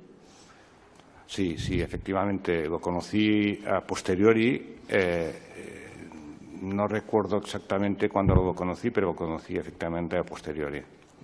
¿El Departamento de Empresa incoó o tramitó algún procedimiento administrativo o alguna contratación eh, con motivo de la adopción de ese acuerdo de gobierno de 6 de septiembre del 2017? No, rotundamente no, ninguno. Bien, ¿le consta a usted si al Departamento de Empresa se le solicitó información con motivo de los acuerdos de la Comisión Delegada de Asuntos Económicos de fecha 21 de julio y 15 de septiembre del 2017? Sí, sí, nos solicitaron. Eh, de julio se tuvieron que hacer certificados por parte, semanales por parte del titular del departamento muy rápidamente. de, septiembre, el de 15 de septiembre, se nos bloqueó los pagos y eh, de 20 de septiembre, si no recuerdo mal, solo se podían realizar gastos relacionados con partidas eh, de servicios esenciales. Es decir, que se bloquearon completamente todo todas las posibilidades de contratación. Eh, ¿Estos requerimientos de información se cumplimentaron por parte del Departamento de Empresa? Sí, efectivamente. ¿Hubo algún momento en el cual se dejasen de cumplimentar? Eh, se cumplimentaron todos, se cumplimentaron todos certificados por parte del titular del departamento, por parte del secretario general, por parte mía. Eh, si no me acuerdo mal, llegamos a firmar yo firmé concretamente más de 80 declaraciones responsables. Mire, ¿el Departamento de Empresa tenía conocimiento de los expedientes administrativos de compromiso de gasto o de eh, expedientes de contratación que realizaba eh, el resto de departamentos de la Generalitat? No, ninguna. Eh, cada departamento tiene sus créditos presupuestarios y tiene sus órganos de contratación. No teníamos, no teníamos ninguna información respecto a lo que hacían los otros departamentos. Mire, y por último, ¿el Departamento de Empresas tenía suscrito el acuerdo marco de servicios postales con Unipost? no, no. El Departamento tiene, tenía eh, eh, eh, un contrato de servicios postales con una empresa Correos. Pues no hay más preguntas. Muchas gracias. Muchas gracias. El Ministerio Fiscal. Con la por favor, al micrófono, que es que se le, se le oye un poco, un poco bajo. Con la venia, excelentísimo señor. Buenos días. Eh, dice usted que el señor Villoria le, dijo que no se iba a gastar dinero el departamento en la preparación del referéndum. ¿Recuerdan qué fecha? Sí, efectivamente, no recuerdo exactamente qué fecha. Me ordenó, me lo dijo, me lo comentó, pero sabía perfectamente, ahora no recuerdo en qué fecha, pero eh, desde el primer momento ya me indicó que el departamento no se haría ningún gasto relacionado con las mm. actividades de 1 de octubre. Ya no le pregunto la fecha, si es el día tal, de tal, el mes. ¿Recuerdan qué mes fue? Eh, recuerdo que fue antes de verano. Antes de verano. Sobre junio, julio, por ahí. Seguramente. Sí. Eh, ¿Se lo dijo verbalmente o por escrito? No, me lo dijo verbalmente. Bien. Eh, en, los despachos, los despachos que tenemos de forma periódica con el, con el secretario general. Bien. Eh, ¿Usted eh, comunicó eso al resto de personas de la casa o...? Sí, efectivamente. la Dirección de Servicios se, se coordina eh, semanalmente con la Subdirección de Gestión Económica y Régimen Interno y se lo indique también verbalmente que el departamento no llevaría a cabo ningún gasto relacionado con las actividades del 1 de octubre. ¿Ustedes tienen red interna? ¿Perdone? Eh, ¿Tienen red interna de, correo? Sí, sí, tenemos un correo corporativo y tenemos eh, una red interna que nos... Eh, pero tenemos despachos, despachos semanales de coordinación con los asuntos internos de gestión. Eh, no hicieron ninguna comunicación por red interna de una orden de tanta importancia. Eh, se refiere a la orden de... De no gastar en el referéndum, a esa decisión. No, lo comunicamos directamente, pero además eh, las instrucciones son claras y precisas por parte del director de servicios. ¿Cuándo conoce usted el acuerdo de septiembre del 17 del Gobierno y sobre gastos en relación con el referéndum? Yo, yo, yo la conocí a posteriori y no me acuerdo exactamente cuándo la conocí, pero cuando tuve conocimiento de esta orden, la verdad es que era imposible de ejecutar. Eh, tenía ya claramente las indicaciones eh, del propio secretario general que no se llevaría a cabo ninguna, ningún gasto y, después, evidentemente, todos los gastos del departamento están previamente fiscalizados o, en el caso de los contratos menores, posteriormente por la intervención delegada del departamento. Dice usted que era imposible de ejecutar. ¿En qué sentido era imposible de ejecutar? Ejecutar porque, mm, lamentablemente, quizá no somos eficientes a nivel de gestión y si fuera, hubiera sido posible, eh, eh, nosotros en un contrato menor Mm, estamos prácticamente tres semanas en poderlo adjudicar y un contrato abierto estaríamos alrededor de seis meses para ejecutar un contrato. Y la fecha en la que usted lo conoce no lo recuerda, ¿no? No, no lo recuerdo exactamente. Fue a posteriori. ¿Preguntó usted, habló en algún momento con sus superiores sobre si ese acuerdo le influía a usted en la medida en que tenía delegados gastos hasta 75.000 euros? Yo tenía las indicaciones claras, precisas y concretas del secretario general que no se llevaría a cabo ningún acto eh, de gasto eh, y, por tanto, sabía perfectamente que no realizaríamos ninguna contratación. ¿Y ese acuerdo no le parecía contradictorio con esas indicaciones? Nosotros teníamos muy claro procedimiento de contratación interna. Eh, que se inicia, antes no me he podido comentar, con, eh, con un informe de propuesta. No sé, el, procedimiento es evidente que existe, o sea que, pero le pregunto, ¿no le parecía contrario a esa indicación ese acuerdo? Yo en, aquel momento mm, pensaba que se trataba de una indicación política. Eh, no, no, tenía, no tenía una traslación en lo que sería que serían las, contrataciones del departamento. ¿Sabe usted si se votó el día 1 en el Palau Robert? No, no tenía conocimiento. ¿No sabe si se votó no o no se votó? No, no, lo sé, no lo recuerdo. ¿No sabe si se votó? ¿No lo recuerda? No, no, no lo recuerdo. Pues no hay más preguntas, gracias. Muchas gracias. ¿La abogacía del Estado? Ninguna pregunta, gracias. Muchas gracias. ¿La acción popular? Ninguna, señor. Muchas gracias. Pues señor Solá, ya se puede marchar, ahora le devuelven el carnet y gracias también por, en fin, por su comprensión con el cambio horario que estaba citado ayer. Gracias.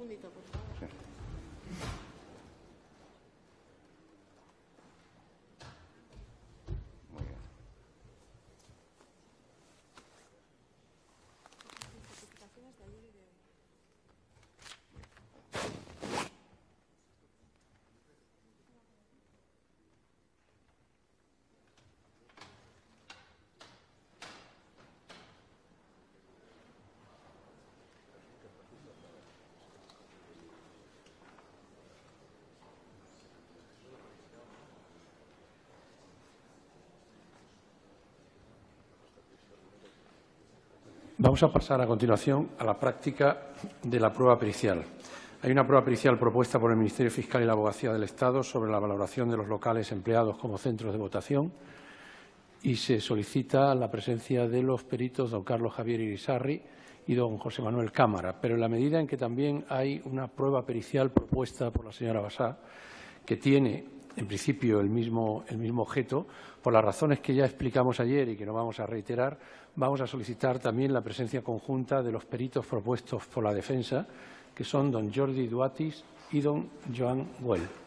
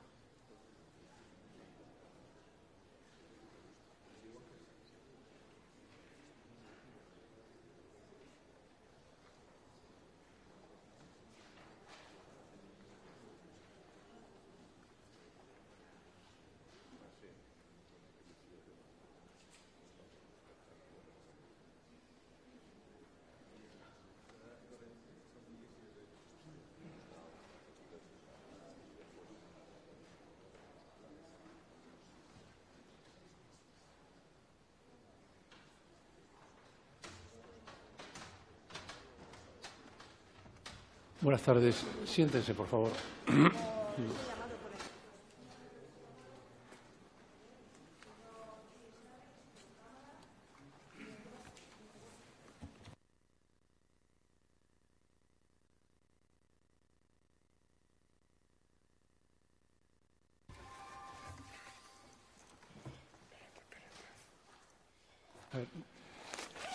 Buenas tardes a todos. Don Carlos Javier Irisarri. Los datos que constan en su tarjeta de identificación están actualizados, ¿verdad? Correctos. Don José Manuel Cámara. Sí. Lo mismo le pregunto. Don Jordi Duatis. Sí. Y don Joan Well. Sí. Bien. ¿Alguno de ustedes ha sido con anterioridad investigado o procesado en alguna causa penal? ¿Tienen algún vínculo, alguna relación con cualquiera de los acusados? Ya sabe que comparecen como peritos y, en consecuencia, tienen que jurar o prometer desempeñar bien y fielmente el objeto de la pericia para la que, en fin, han sido propuestos. ¿Juran o prometen desempeñar bien y fielmente la pericia para la que han sido propuestos? Sí.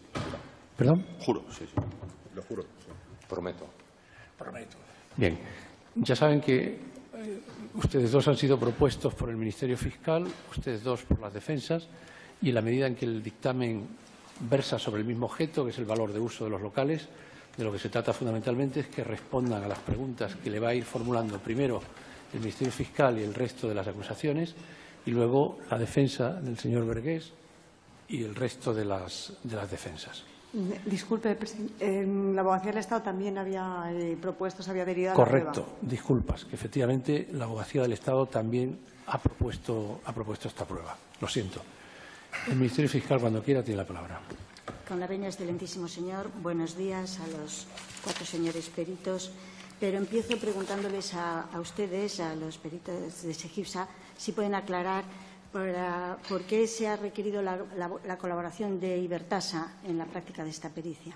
Sí, bueno, eh, nosotros, eh, el área de valoración que yo dirijo, eh, vamos, hacemos montones de tasaciones al año, etcétera, pero generalmente de bienes del Estado, bienes patrimoniales, de maniales, etcétera, pero vamos, no estamos tan al día en cuestiones de rentabilidad, que es un punto, uno de los puntos más eh, uno de los puntos del método que hay que aplicar. Y entonces eh, Ibertasa, eh, José Manuel Cámara en concreto, que colabora habitualmente con nosotros, tiene una experiencia muy eh, contrastada, valoran fondos de inversión, etcétera, pues siempre son más autorizados. Le dábamos además una mayor objetividad, que decir que una empresa externa del sector privado ratificar un poco nuestra mm. metodología, etcétera. Pues. Muy bien. Entonces, el informe ha partido del listado remitido con el requerimiento judicial eh, que es una lista eh, de centros en los que intervenían o habrían de intervenir los Mossos de Escuadra. Sí, hay copia en el informe. ¿Ustedes cómo han identificado o localizado eh, estos centros? Bueno, el listado, bueno, aparte de venir un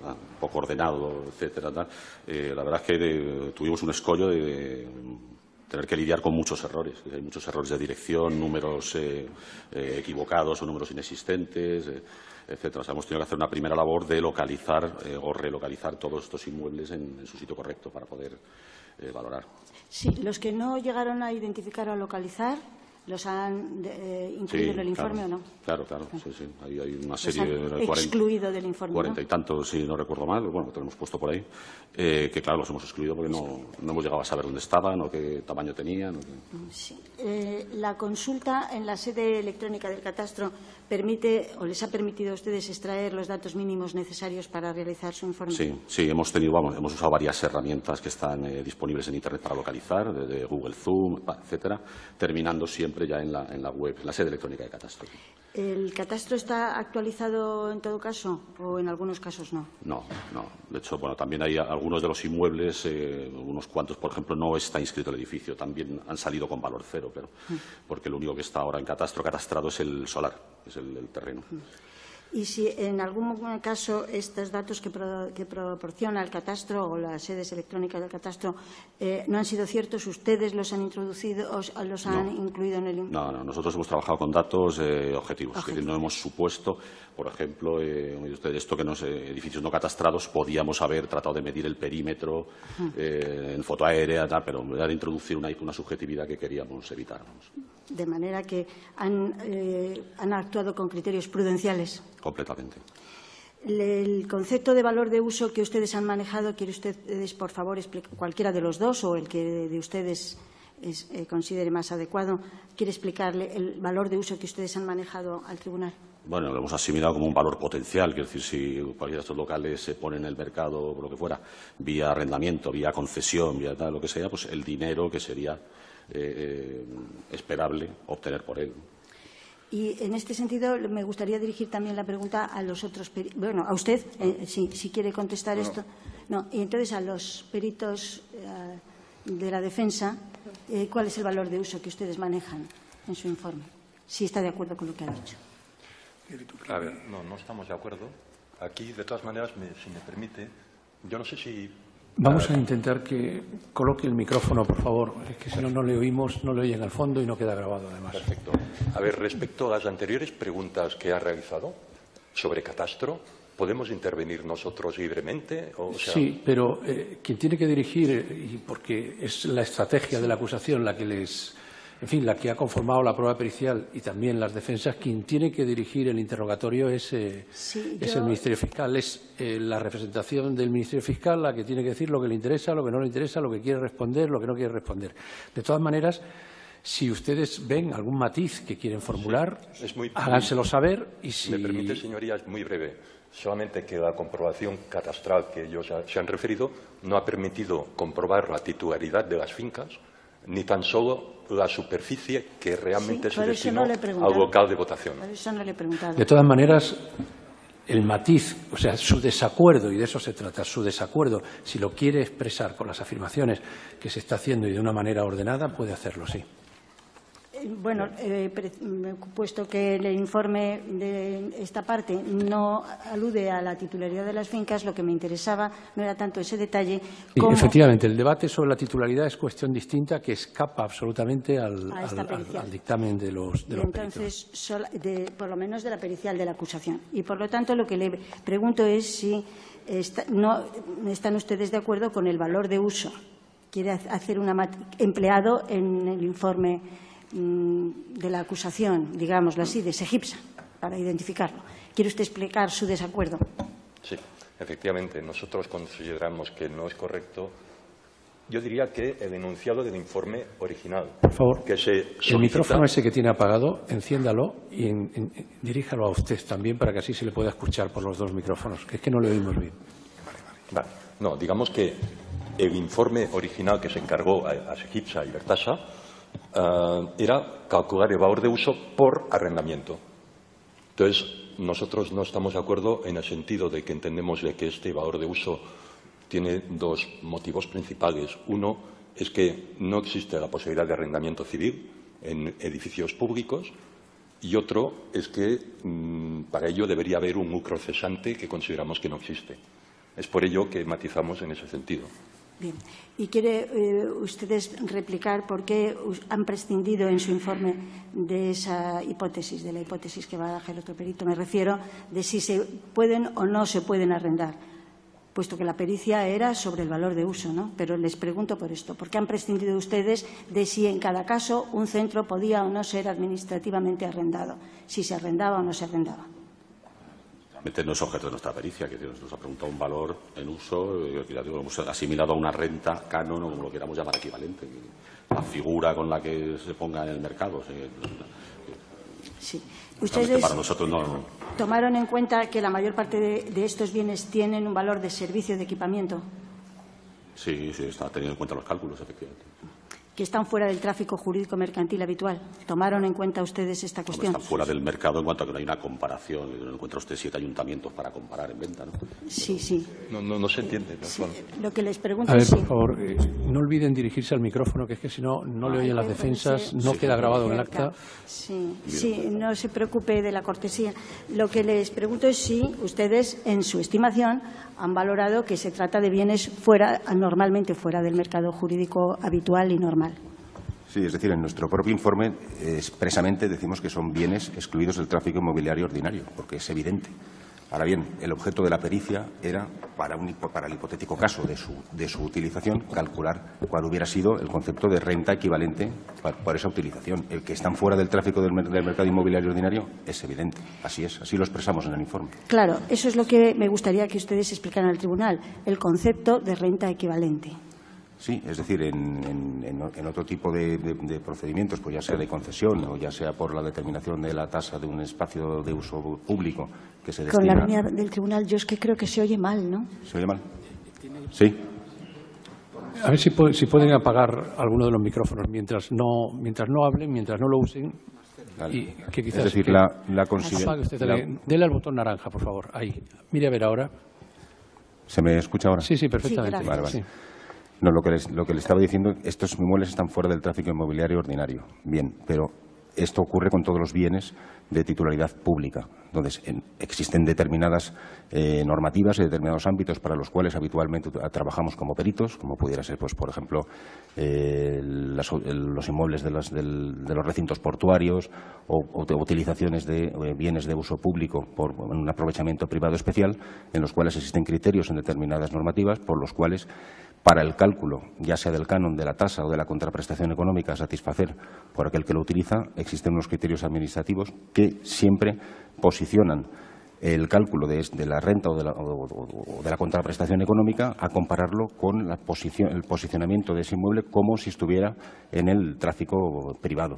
Si quiere poner algún ejemplo concreto de otro tipo de inmuebles, ha dicho ahora de portuarios. Sí, pues por ejemplo en, el, texto refundido de la Ley de Puertos, pues eh, son bienes de espacio de dominio público, pues la tasa privativa por la ocupación del suelo y de las construcciones, pues establece que para determinados, eh, determinadas áreas funcionales dentro del puerto, pues es, el porcentaje que se aplique sobre el valor teórico que tendría en el mercado esos suelos o esas construcciones, pues sea del 5,5, del 6,5, del 7,5%.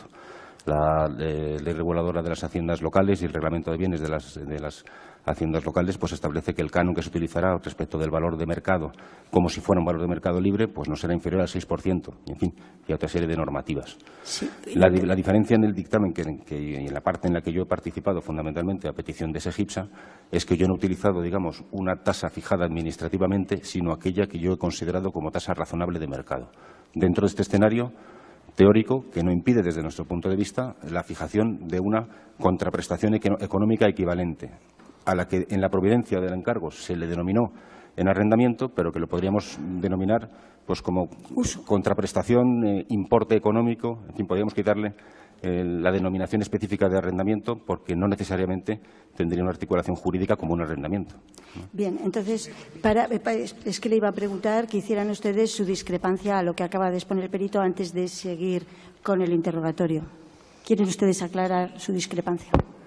Sí, yo quisiera aclarar que el dictamen de Sejitsa no habla para nada de las tasas. Para hablar ahora sobre la posibilidad de tasas es introducir un elemento nuevo que no está en el dictamen que han presentado ellos. ¿eh? No está. ¿eh? Yo quiero insistir en que los edificios públicos utilizados en el día de autos eh, no son objeto de contrato de alquiler, no están en el mercado inmobiliario. Esto ya lo hemos dicho claramente. Y, por tanto, si no están en el mercado inmobiliario, no da lugar a una prestación eh, pecuniaria. Eh, disculpe que le interrumpa. Eh, no está en el mercado inmobiliario normal, porque a veces los edificios públicos se alquilan. No, se ponen tasas o precios públicos. ¿Perdón? se establecen las tasas o precios públicos a través de una ley de tasas y precios públicos, que no es el caso, porque el servicio que se hizo el día de autos no es un servicio objeto de tasas o precios públicos. Bien. Entonces, ahora, con esa objeción, le pregunto nuevamente a los peritos de Segipsa si adoptaron ustedes valores de reposición. Sí, bueno, es la teoría que hemos usado yo por, cerrar este debate de ah, que excede un poco en el objeto de nuestra pericia, que a mí el nombre que usemos o la terminología o si es arrendamiento, que al final se trata de cuánto costaría eh, Exacto. un valor equivalente a estos locales por otro local exactamente igual en el mismo sitio. Eh, eh, ¿Quiere explicar esto? ¿Quiere explicar esto, por favor? ¿Cuál ha sido su eh, metodología de averiguar el nombre más adecuado para no discutir tal es hablar de una renta potencial o de una renta equivalente. Renta, canon, es, que es un tema si quiere explicar lo que es renta potencial o renta equivalente. Sí, bueno, la renta que es susceptible de dejar un inmueble este o uno que tenga las mismas condiciones, las mismas condiciones de tamaño, de localización, de estado, etcétera. Sí, sea de quien sea la titularidad. Por el micrófono nos vuelve a plantear un... señor, señor, señor, el micrófono eh, siguen teniendo las defensas problemas y es probable que haya algún problema. Mm, tienen, tienen que dirigir, escúcheme por favor, tienen que dirigir sus respuestas al micrófono. Si no, no se oye y si no, la defensa no puede replicar a las preguntas que está haciendo el Ministerio Fiscal. Sí, perdóname. Entonces, por favor, mire al micrófono. Mire al micrófono. ¿Eh? Y no mantenga mucha distancia respecto del micrófono. A ver, por favor, el Ministerio Fiscal, cuando quiera. Lo que le quiero decir es que ustedes han prescindido de la titularidad y de las condiciones administrativas de los locales. Solamente han valorado su tasación, ¿sí o no? Sí, sí, efectivamente. nadie nos ha preguntado, es decir, no es el objeto de, nuestro trabajo. La pericia. Sí, quisiera aclarar una cuestión importante respecto a la titularidad. ¿eh? La titularidad para un dictamen de este tipo es fundamental dado que los locales que se utilizaron el día de autos, hay locales de todo tipo, locales que son propiedad de la Generalitat, el 50%, locales donde son propietarios entidades religiosas. disculpe que le interrumpa un momento. Usted dice que el 50% eran de la Generalitat. ¿De cuántas consellerías, ya que ustedes lo han analizado? 1.150. ¿De cuántas consellerías me refiero? ¿De, qué consellerías? No hemos, no hemos entrado en el caso porque son edificios de la Generalitat de Cataluña. El resto son entidades deportivas, religiosas, etcétera, ¿eh? colegios privados y también eh, propiedades municipales que no son de la Generalitat. ¿eh? Si usted se coge el listado efectuado sí, por... Sí, no, pero... Miren, el listado mismo que, que, se basa Sejitsa, dentro de los primeros 15 locales, 15 locales, 10 no son de la Generalitat. Bien, ustedes han indagado en la titularidad y consideran que esto es muy importante. Sí. Bien. Ahora yo les pregunto cuáles han sido los criterios de tasación a los peritos. Por favor, guarden silencio. guarden silencio. Esta es una cuestión que está en los dos informes y está claro. En un informe prescinden de esa cuestión y en el otro no. como hay discrepancias también en los criterios de valoración, vamos a esta cuestión. Bueno, eh, respecto a la discrepancia de la, titularidad, no es que haya discrepancia, es que no ha sido objeto de nuestra pericia. Es decir, no, es que discrepe, es que no, lo hemos analizado. Que hay, diversidad en la información. Bien, pero nosotros hemos respondido a la providencia que se nos hizo respecto de la finalidad concretísima del, informe pericial y, nos hemos eh, limitado al objeto de la pericia estrictamente. No es que no lo hayamos, no es que haya discrepancia, es que no lo hemos analizado. Sí, pues entonces la pregunta era cuál ha sido su criterio de tasación, si tuvieron en cuenta, estábamos al hablar de los valores de reposición, pero explique sus criterios de tasación, por favor. Bien. Son inmuebles singulares, todos ellos. Y son inmuebles que, como hemos dicho y, por escrito lo hemos manifestado en nuestro propio informe, están excluidos del tráfico inmobiliario ordinario. Esto quiere decir que requieren una metodología especial de cálculo para poder hacer una aproximación razonable a lo que sería esa renta potencial contra prestación eh, potencial o importe económico potencial. entonces, la manera por la cual nosotros hemos llegado a, realizar esta aproximación es determinando un valor de reposición de los inmuebles. El valor de reposición de un, inmueble en general en el mercado, en general, el valor de mercado de todo producto inmobiliario es la suma de cuatro componentes. Suelo, construcción, gastos de promoción y beneficio del promotor. En el valor de reposición excluye el factor de beneficio de promoción. Por lo tanto, tendremos en suelo, construcción y gastos. Bien, al tratarse de bienes que están fuera del tráfico inmobiliario ordinario, hemos considerado que deberíamos de eliminar este factor de beneficio de promoción. Y el concepto que mejor eh, permitía tener un valor base de, cada inmueble para después transformarlo en una, en una renta o en un concepto equivalente a renta era su valor de reposición. Ese valor de reposición es la suma de, de tres conceptos. El valor del suelo, el valor de la construcción y le descontamos la depreciación física que tienen los inmuebles. Eso nos da un valor de reposición neto o un valor de reposición depreciado. Mediante un procedimiento de valoración eh, masiva basado, basado parcialmente en determinados criterios del Real Decreto 1020-93, que es la normativa de valoración de bienes de naturaleza urbana a efectos catastrales, hemos eh, establecido una metodología para hacer una técnica aditiva, es decir, por un lado calcular el valor del suelo, por otro lado calcular el valor de la construcción y por otro lado descontarle la depreciación que tiene cada uno de los inmuebles.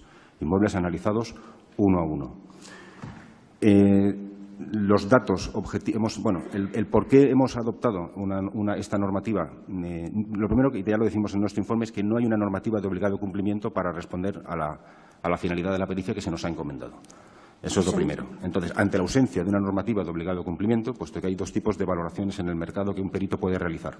Las que se llaman valoraciones regladas son aquellas para las cuales hay una norma de obligado cumplimiento que yo como perito no puedo obviar y las valoraciones libres, que son aquellas en las que puedo utilizar bueno, pues mi propio conocimiento, mi experiencia o cualquier criterio personal para intentar evitar, en la medida de lo posible, eh, o para acotar la subjetividad del dictamen y darle por lo menos una cobertura de objetividad, hemos recurrido subsidiariamente a ciertos criterios de la normativa catastral.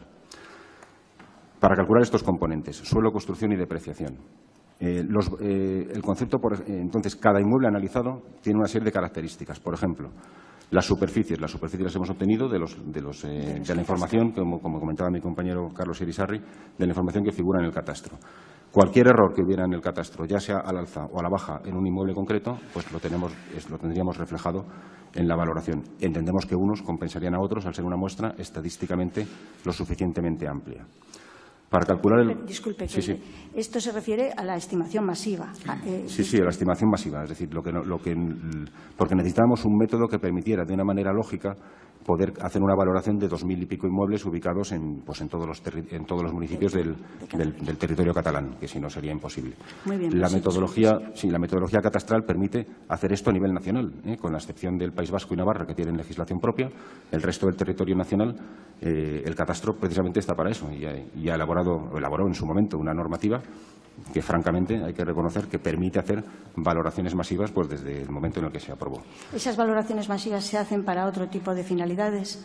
Bueno, la finalidad principal de, la, propia normativa es para calcular la base imponible del impuesto de bienes inmuebles, que es el famoso IBI que todos pagamos pues, por, toda, por, la, propiedad de, de los bienes de naturaleza urbana.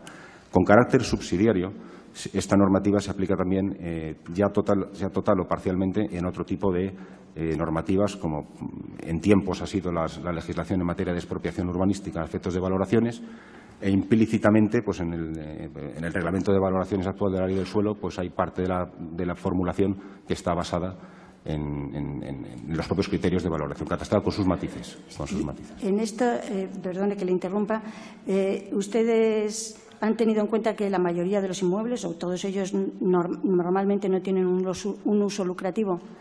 Lo hemos tenido en cuenta porque eh, en, la propia formulación de la normativa catastral, ese componente de gastos y beneficios que le comentaba antes se estipula de una manera muy simple mediante un coeficiente 1,40. Es decir, el valor del suelo más el valor de construcción por 1,40 con una serie de coeficientes, permite calcular el valor de mercado eh, según la normativa catastral una, aproximación y luego la depreciación.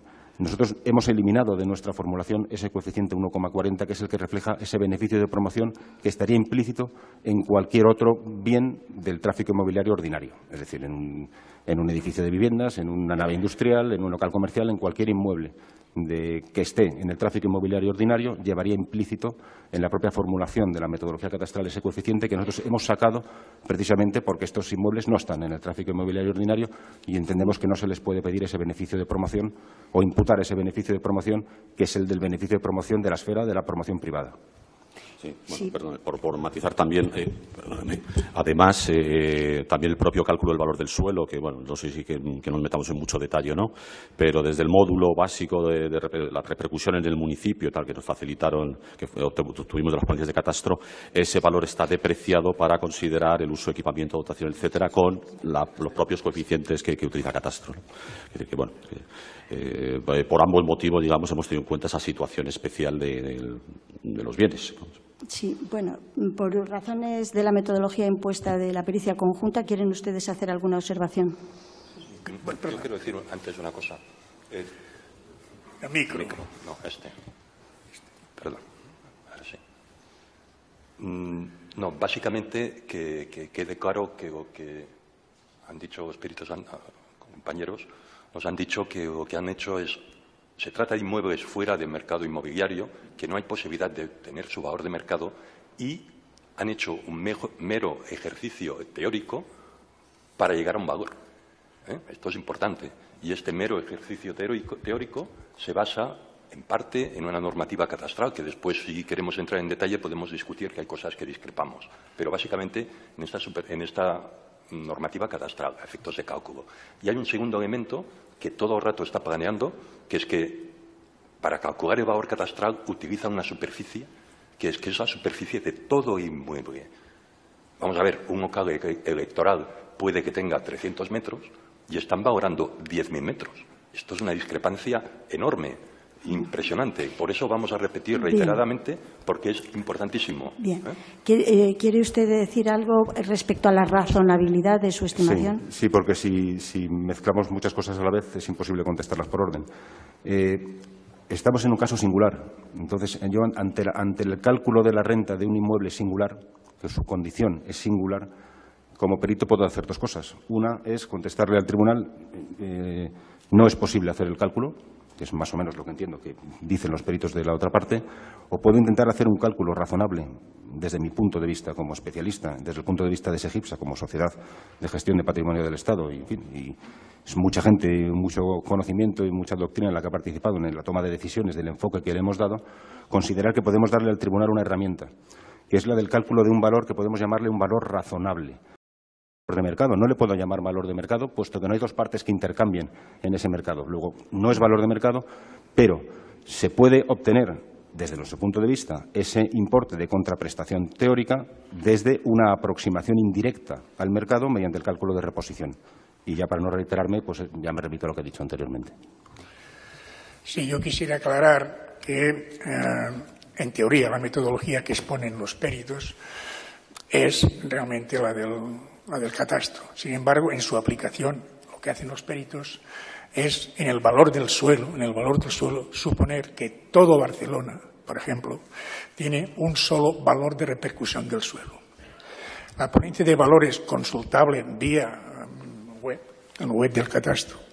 La ponencia de Barcelona de 2017 establece 336 polígonos de valor. En cada uno de esos polígonos de valor figuran los valores de repercusión residencial, industrial, comercial, etcétera, etcétera, y también de los equipamientos. El valor de los equipamientos van desde 146 euros metro cuadrado hasta un máximo de 2.000. La media, la media de los valores catastrales de la ponente de valores de Barcelona, la media para equipamientos es exactamente de 554 eh, euros metro cuadrado los, los eh, peritos han aplicado uniformemente para todo Barcelona, para todo 1.200 euros metro cuadrado. ¿eh? 1.275. También hay que decir, cosa que hay que dejarlo muy claro, que la suma, la suma de valor del suelo más valor de la construcción, de ninguna manera, lo saben los peritos perfectamente, de ninguna manera es el valor de mercado. ¿eh? No, eso ya está dicho. Claro. Pero al utilizar esta metodología subsidiaria, porque no hay mercado, no hay elementos de comparación, hay que ser muy precisos en, los dos capítulos, que es el valor de la construcción, qué superficie tomamos, y en el valor de la construcción, y valor de repercusión del suelo, y en el valor de la construcción lo mismo, qué superficie tomamos y qué módulo le aplicamos. ¿eh? Y en este sentido discrepamos eh, en la aplicación. Bien, pero esa todavía no habíamos explicado los peritos de SEGIPSA cómo han hecho esta metodología. Y ahora se lo pregunto para que puedan explicarlo. Bien. El cálculo del valor del suelo, eh, desde la metodología catastral, existe un valor de repercusión eh, de suelo por cada polígono fiscal dentro de cada municipio. Y este, efectivamente, como dice el perito, eh, el señor Well, el señor Well aparece en el listado de polígonos eh, de valoración de las ponencias catastrales. Ahora bien, de las ponencias catastrales que están disponibles. nosotros nos hemos enfrentado ante la dificultad y, también eh, hay que pensar, por un lado, tanto el plazo como la posibilidad real de acceso a toda la información disponible. Eh, el perito comenta, con, y además es cierto, que se puede entrar ahora mismo en la página web del, del, catastro y descargarse y consultar la ponencia de Barcelona. No podríamos hacerlo con la de Girona, creo que no está. No podríamos hacerla con la de Tarragona, creo que no está. Y creo que no podríamos hacerlo con el 80-85% de los municipios de Cataluña, puesto que las ponencias catastrales que están disponibles son algunas nada más. ¿Qué ocurre? Que eso nos ha obligado, y nosotros tomamos la de, fuéramos conscientes de esta situación, Podríamos haber particularizado por polígono fiscal la valoración del suelo de cada equipamiento en función del polígono concreto en el que se ubicara. Pero eso solo podríamos hacerlo para aquellas ponencias aquellos municipios que estuvieran, perdón, para aquellos municipios que tuvieran la ponencia disponible en Internet, que son la minoría, no son lamentablemente la mayoría. Eso nos hubiera obligado a utilizar dos criterios de valoración distintos. Por un lado, el módulo básico de repercusión en aquellos municipios, que ese sí está disponible para todos los, para todos los municipios, puesto que se nos aportó desde el Centro de Gestión Catastral, ese módulo básico de repercusión, que es uniforme para todo el municipio, nos, permite aplicar el mismo criterio a la totalidad de municipios. Puesto que la muestra es suficientemente amplia, puesto que tenemos dos mil y pico centros, entendíamos, y es un principio prácticamente estadístico, que en una muestra estadística suficientemente amplia, los posibles errores que pudieran existir al alza y a la baja tienden a compensarse. Es decir, si yo taso tres inmuebles, puedo tener un margen de error muy grande. Si taso tres mil, tendré un margen de error mucho, mucho menor. En el caso de Barcelona, eh, yo he consultado la ponencia de valores, evidentemente, me la he descargado, también la he estudiado. El valor de 1.700 euros metro cuadrado que aparece como módulo básico de repercusión 1 para el municipio de Barcelona, corregido con el coeficiente 0,75 para equipamiento que establece la propia ponencia, da un valor de 1.275 euros metro cuadrado de repercusión de suelo, que es el que hemos aplicado en nuestro dictamen. Pero es verdad que hay algunos, eh, polígonos que están por debajo, pero también hay otros polígonos que están por encima.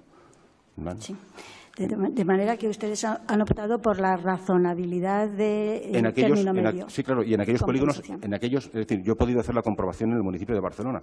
No podría hacerlo en el municipio de Hospitalet del Llobregat, que no lo tiene colgado. No podría hacerlo en el municipio de Tarragona, que no está colgado. Es decir, entonces lo que queríamos es mantener una uniformidad, puesto que la muestra es suficientemente amplia, una uniformidad de criterio. Y, esa, es, esa es la premisa por la que hemos trabajado. Muy bien. Ustedes buscaron una equivalencia en renta eh, con respecto a los valores asignados a cada inmueble? Nosotros mm, hemos calculado, digamos, la tasa de renta, bueno, porque se me olvidaba una cosa que ha, comentado el señor, eh, señor Well, eh, respecto al tema de construcción. Es decir, nosotros somos conscientes de que puede haber variaciones en el tema del suelo. E insisto que creemos que en una muestra estadísticamente grande tiende a compensarse. Pero lo que también tenemos certeza, y en el, juramento que hemos hecho como peritos, hemos dicho por escrito, y es nuestra obligación, bueno, pues, eh, tomar unas decisiones tanto en lo que beneficien como en lo que perjudiquen al resultado de la prueba. También soy plenamente consciente de que nuestro, creemos desde nuestro punto de vista, que el componente construcción, de estos componentes suelo y construcción que le decía, el componente construcción en general está infravalorado. Es nuestra opinión. Para cada municipio existe también un módulo básico de construcción, lo marca la ponencia. En el caso de Barcelona, lógicamente, es el módulo máximo. Pero la aplicación del módulo máximo a los coeficientes que existen y considerando la depreciación que hay, entendemos que da unos costes de construcción reales por debajo de los reales de mercado. Cataluña es el territorio de, toda España donde el coste de construcción es más alto.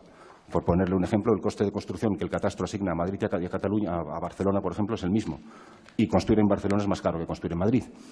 Pero, evidentemente, al ser una técnica de valoración masiva, bueno, pues el, propio regulador que, aplica la norma y diseña la norma, bueno, pues tiene, unas limitaciones eh, determinadas. Y por último, el último coeficiente que forma parte de la reposición, que es la depreciación, nosotros hemos partido de los datos que obran en catastro. Es verdad que la normativa catastral establece unos coeficientes para poder ponderar, por ejemplo, cuando un inmueble ha sido reformado, rehabilitado, etcétera.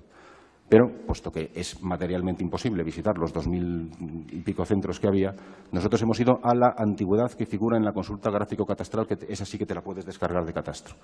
Quiero decir que, si, por poner un ejemplo eh, eh, ficticio en el sentido de que no voy a dar un dato concreto, si, por ejemplo, aparece que un edificio fue construido en el año 1979, bueno, pues tendría una antigüedad ahora mismo de, de 30 años, y a lo mejor ese inmueble ha sido rehabilitado hace 10 y eso no consta en la consulta gráfico-descriptiva catastral.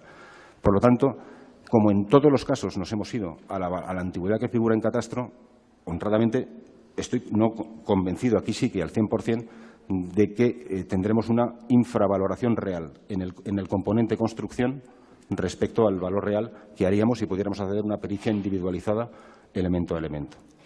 Eh, eh, y respecto de la tasa que me, preguntaba usted. No, no, le pregunto porque lo ha dicho eh, un inciso. ¿Cree usted que esta muestra es suficientemente amplia, los 2.500 centros, para realizar esas estimaciones? Es una muestra suficientemente considerable, vaya. Es decir, es suficientemente amplia. No estamos hablando, es decir, la distorsión que puede tener un error grave en una muestra de 25 unidades puede ser importante un error grave en una muestra de 2.300 inmuebles, evidentemente puede o bien ser irrelevante o no ser suficientemente significativa como para anular las conclusiones en, su totalidad. Y sobre todo porque tendríamos que analizar no solamente los casos de sobrevaloración, sino los casos de infravaloración. Y entendemos que estadísticamente tenderán a, la compensación. Muy bien.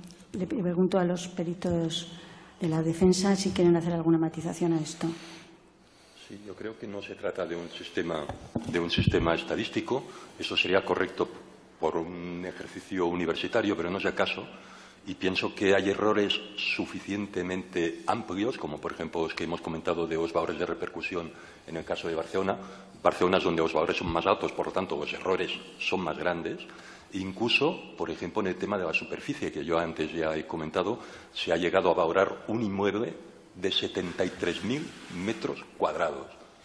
Claro, esto es una distorsión tan enorme que yo creo que sí que tiene incidencia en el resultado final. Porque no es un inmueble con 73.000 metros. Son todas las escuelas públicas con su, con su 8, 10.000 metros. Quiere aclarar por una, una intervención. Sí, sí, pediría que la fiscal permitiera que contestara a los pedidos de la defensa tan ampliamente como está permitiendo ah, no, es que contestar. Que vamos a ver, vamos a ver, por favor. Por favor creí que había terminado. Eh, las explicaciones de la defensa están siendo perfectamente escuchadas, atendidas por el tribunal y si ustedes se sienten interrumpidos en su línea argumental, no tienen más que decirlo y, hacerlo. Eh, yo lo que, lo que, lo que quisiera, en nombre de la sala, eh, fundamentalmente para orientar y, en definitiva, ir hacia, hacia lo que puede ser el desenlace. Un momentito, por favor, un momentito hay un perito o una pareja de peritos de la acusación que ha hecho lo que entiende que es un valor potencial. Hay una pareja de peritos de la defensa que considera que ese valor potencial nunca puede ser efectivo porque no hay un lucro cesante y que discrepa además de la metodología con la que ese valor potencial se ha fijado. Yo creo que a partir de ahí, eh, tanto el fiscal como la defensa, que es el presupuesto en el que nos estamos moviendo, creo que es por donde debería ilustrarse al, tribunal. Entonces, eh, si pudiéramos centrarnos ahí sería mucho mejor para acusaciones, para defensas y para el propio tribunal. Efectivamente, en, sintonía eh, con lo que dice su señoría, eh, por ver tratar de ver una, posición un poco global sin detalles. vamos a ver, nosotros, nuestro trabajo aquí es ayudar. Nosotros no venimos aquí a defender nada. No hay ningún. escúcheme. mire, no hay. No hay, no hay no, escúcheme, escúcheme, escúcheme. No hay ningún reproche ni a su trabajo ni a su metodología. Por, por favor, escúcheme. De lo que se trata fundamentalmente es que dirija el interrogatorio para que esté claro cuáles son los presupuestos en los que se está desarrollando esta pericia, porque hay momentos en que nos movemos en parámetros técnicos que, carecen de, trascendencia jurídica. Entonces, yo creo que tal y como la defensa y, la acusación pues lo han situado, pues ahí es por donde tendríamos que discutir y debatir. Por favor, formule preguntas si lo considera oportuno y luego será el turno de la defensa. Si, me permite que precisamente. No, no, no, no. Mire, eh, su papel es básicamente el responder a las preguntas que le hace, no entablar un diálogo con el presidente. Sí. Bueno, pues le pregunto entonces, volvamos al valor, a la equivalencia entre el que han asignado en renta al valor asignado a cada inmueble. Bien, eh, una vez determinado digamos, cuál es la, ante la inexistencia del valor de mercado, aplicamos este cálculo del valor de reposición que comentábamos antes, y ahora tenemos que convertir ese valor en una renta, en una renta, en una contraprestación. Bien, la forma de convertir un valor capital, un valor real, en euros absolutos, en una, en una renta, es mediante una tasa de rentabilidad o un tipo de rentabilidad, tipo de rentabilidad inmobiliario. Entonces, los tipos de rentabilidad inmobiliaria, y ese es el, motivo por el cual SEGIPSA invitó a mi compañía a, participar en esta prueba pericial, Depende, eh, para cada inmueble, depende del uso del inmueble, de la localización, del volumen del portfolio, del volumen de la cartera de inmuebles analizado, etcétera. Eso lo tengo explicado en la pericia y no lo voy a repetir mucho. Pero nosotros hemos fijado, mediante una serie de criterios y coeficientes, eh, eh, también hemos intentado darle una cierta cobertura y, para que no fuera únicamente una opinión del perito, sería en este caso mi opinión, también hemos intentado hacer el cálculo de esa tasa de rentabilidad por dos vías. Una, mediante la determinación del criterio que establece la Orden ECO 805-2003, que es otra normativa de valoración que en este caso se aplica fundamentalmente a las valoraciones para el mercado hipotecario, tiene otras finalidades, y eh, se trata de calcular una tasa de rentabilidad inmobiliaria. Esa tasa de rentabilidad inmobiliaria parte de una tasa libre de riesgo, que es la rentabilidad de la deuda pública entre dos y seis años, que en nuestro propio dictamen pues es un dato oficial publicado por el Banco de España, al que se le eh, aplica un diferencial de riesgo un diferencial de riesgo porque toda operación de inversión inmobiliaria, de promoción inmobiliaria, pues tiene que tener un retorno a esa inversión. Esa tasa de rentabilidad, en el fondo, es una tasa de retorno sobre el capital. Bien, en, nuestro dictamen lo hemos establecido en el, en el 7,25, con los cálculos que figuran en el mismo, y es coherente, desde nuestro punto de vista, con las tasas de rendimiento inmobiliario que ofrecen otros productos inmobiliarios.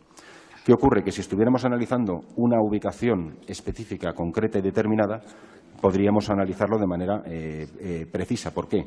Pues porque la rentabilidad exigible a un local comercial en el Paseo de Gracia de Barcelona puede ser del 3%, pero la rentabilidad de un local comercial ubicado en el extrarradio puede ser del 6%. Bueno, entonces, cada producto inmobiliario, en función del riesgo eh, que conlleva su propia explotación y gestión, tiene unas tasas, unos rendimientos que el mercado conoce. Los conoce y además son accesibles al público en general, pues porque, por ejemplo, hay consultoras inmobiliarias internacionales de reconocido prestigio que directamente en sus páginas web te puedes descargar información sobre rentabilidades reales de mercado. No sé si el tribunal me permite citar nombres o no cito ninguno, eh, pero bueno, quiero decir, eh, los voy a citar si consideran que no es corriente. Pues, no, hace falta. No hace falta. Bueno, son consultoras internacionales donde están. Entonces, ese 725 lo que hace es convertir en una renta anual el valor de reposición de cada inmueble y esa renta anual posteriormente se divide bien por meses, en este caso por 365 días, para calcular la eh, renta o la contraprestación diaria. Nosotros hemos utilizado como referencia esa unidad de 24 horas que eh, sé que está cuestionada por parte del, de los peritos contrarios, pero hemos utilizado esa unidad de medida. Si en vez de 24 horas eh, por poner un ejemplo, el tribunal considerara o alguien pudiera demostrar que la utilización de esos inmuebles ha sido de 15 minutos, de, 15 horas y 16 minutos, pues sería esa el, el baremo a aplicar. Debe entenderse como una unidad de medida.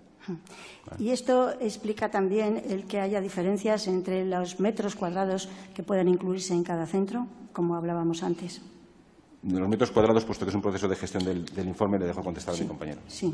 Bueno, entra dentro de, quería explicar antes sobre un tema de pura objetividad. Eh, por supuesto, eh, decir, eh, un método de valoración estadístico admite que va a haber errores en, muchas unidades, pero lo va a haber por los dos lados. Es decir, nuestros colegas insisten en dos, tres, cuatro ejemplos en los que hay una superficie mucho mayor, pero claro, se callan que hay superficies de 11 metros, de 15 metros, de 30 metros, y lo sabemos. Es decir, hemos asumido. Es decir, los errores por un lado se compensan con el otro. Es la, ley de una valoración estadística, con la que usa catastro, con la que usa un fondo de inversión, etcétera. Es decir, no nos importa el detalle de la unidad, nos importa el total. Eh, y lo mismo sucede eh, con cualquier otro parámetro. Que, dice, bueno, es que efectivamente valores de repercusión de Barcelona eh, probablemente sean más conflictivos. Bueno, y los de Besalú, ¿cómo serán? Y, que está en el otro extremo, que cuando hay un valor de repercusión absolutamente disparatado por lo bajo, no nos molesta. Bueno, nuestra objetividad es esa. Admitimos un criterio, el mismo para todos los inmuebles, ¿eh? de superficie, los que sean más o menos, que tampoco es juicio nuestro el decir si el usar un trozo de un edificio invalida el resto del uso del resto. Dice, no es que solo usa un trozo, o cuánto hace falta para un centro de votación. desde luego, donde yo voto, hace falta bastante más de 300 o 500 metros, es decir, lo que usan. Pero, bueno, habla de todo. Les pregunto entonces, estos grados de prudencia y de estimación eh, son aplicables a una valoración estimativa. Ustedes han hecho una estimación global. Sí, bueno, yo creo que, hemos sido prudentes y además por dos motivos. Uno, efectivamente, porque estamos estimando. no estamos, y el segundo, pues por, la naturaleza del caso. Que no eh, tenemos ninguna intención de perjudicar o no perjudicar. En la duda, lo que no sabemos, eh, vamos al parámetro más eh, desfavorable para el valor, al valor más prudente. Muy bien. Y respecto de los peritos. si me permite, quisiera puntualizar algunos aspectos que han dicho los peritos. ¿no? Acérquese el micrófono, por favor. Sí. Los peritos parten de un supuesto teórico como si estuviéramos en el mercado. ¿eh? Y, por tanto, calculan la tasa de utilización, que es la suma de la tasa de libre de riesgo y la prima de riesgo. ¿eh? Ellos mismos definen como prima de riesgo no hay, otra definición que la que están en las leyes, como la prima de riesgo es un diferencial que se aplica al considerar que una inversión en inmuebles tiene un mayor riesgo que la deuda pública. Por este motivo se le exige mayor rentabilidad a una inversión inmobiliaria. Evidentemente, todos los equipamientos públicos utilizados al día de autos no tienen prima de riesgo. La prima de riesgo sería cero. No habría prima de riesgo. ¿eh? A partir de esta suma. ¿Puedo preguntarle a los otros peritos si están de acuerdo en no, que no tiene, hay prima tiene de que explicar, tiene que explicar pues por qué cree que la prima de riesgo no puede ser trasladada a estos pues edificios que fueron cedidos. Explíquelo, por favor. No, explico porque la prima de riesgo se aplica, evidentemente, en inversiones inmobiliarias que tienen una finalidad pues de, obtener beneficios. Y está en función, esta prima de riesgo está en función pues de la tipología del edificio, cada uno es diferente, su localización, no lo mismo en Canarias que en Bilbao, eh, la posible previsión de rentas reales. ¿eh? Por tanto, todos los equipamientos públicos utilizados no están en ninguno de esos casos. No son inversiones que se hacen para obtener rentas y, por tanto, no es aplicable una prima de riesgo. Con lo que a la suma esa yo estoy de acuerdo que la tasa libre de riesgo, estoy de acuerdo con los peritos, 0,1727 porque son los que publican en el boletín del Estado. Pero no estoy de acuerdo en la prima de riesgo. Por tanto, la suma que llega a 9,42 y que luego pam, pam, pam, pam, llega al 7,25 que aplica a cada uno de los valores, pues no lo guardo. Sí, yo quería añadir en este tema estoy de acuerdo con todo lo que han explicado, todo lo que han explicado sobre la rentabilidad de mercado. Está perfecto lo que ha dicho las oficinas de Paseo de Gracia 3%, eh, fuera de, Barcelona mejor al 7%. Lo que sorprende es que un edificio público, no privado, sea un 7,25. No es de sentido común. Cuando estamos viendo que una vivienda tiene un 3%, cuando es absurdo, sin mirar ninguna fórmula, cuando todos sabemos que una vivienda puede tener un 3%. ¿Cómo podemos poner en un edificio público sin ánimo de lucro una rentabilidad doble o más de doble? Yo quisiera que los peritos de Segipsa lo explicaran, esta pregunta. si ese equipamiento... Que conteste cómo es posible incluir todo en una valoración estimativa. ¿Quieren explicarlo, por favor? Por favor. Siempre, eh, digamos que es un poco... No hagamos eh, gestos de aprobación o desaprobación sobre el, dictamen o la forma de llevar la pericia por el fiscal. Se lo digo a ustedes, ¿eh? Quiero que lo expliquen los peritos de Segipsa. Es que es yo creo que es un bucle al que volvemos siempre. Es decir, eh, eh, los peritos contrarios consideran que son, al ser eh, inmuebles excluidos del tráfico inmobiliario, su renta es cero. Por lo tanto, si su renta es cero, su rentabilidad es cero y, todo es cero. Bien, nosotros hemos dibujado este, este, escenario que ya hemos explicado y no me voy a reiterar, de, equiparación a una situación teórica de un bien equivalente en el mercado y yo le puedo decir que, decir que los equipamientos eh, privados Tienen tendrían rentabilidades pues, entre el 6,5 y el 8,5% aproximadamente en el, en el territorio geográfico en el que estamos analizando. Entonces, nuestro posicionamiento es aplicarle desde ese punto de vista de una rentabilidad teórica de mercado a ese valor de reposición que hemos calculado antes, para, darle al tribunal desde nuestro punto de vista, y ya me vuelvo al principio de mi intervención, cuál es el importe económico que tendría esa teórica utilización. Nada más. Entonces, eh, podemos volver mil veces sobre lo mismo. Es decir, ellos consideran que es cero y nosotros consideramos que no. Muy bien. Pues entonces, otra pregunta para los peritos de la defensa. ¿Ustedes eh, valoran la depreciación? ¿Han valorado los gastos directos de uso en, la jornada en cada local?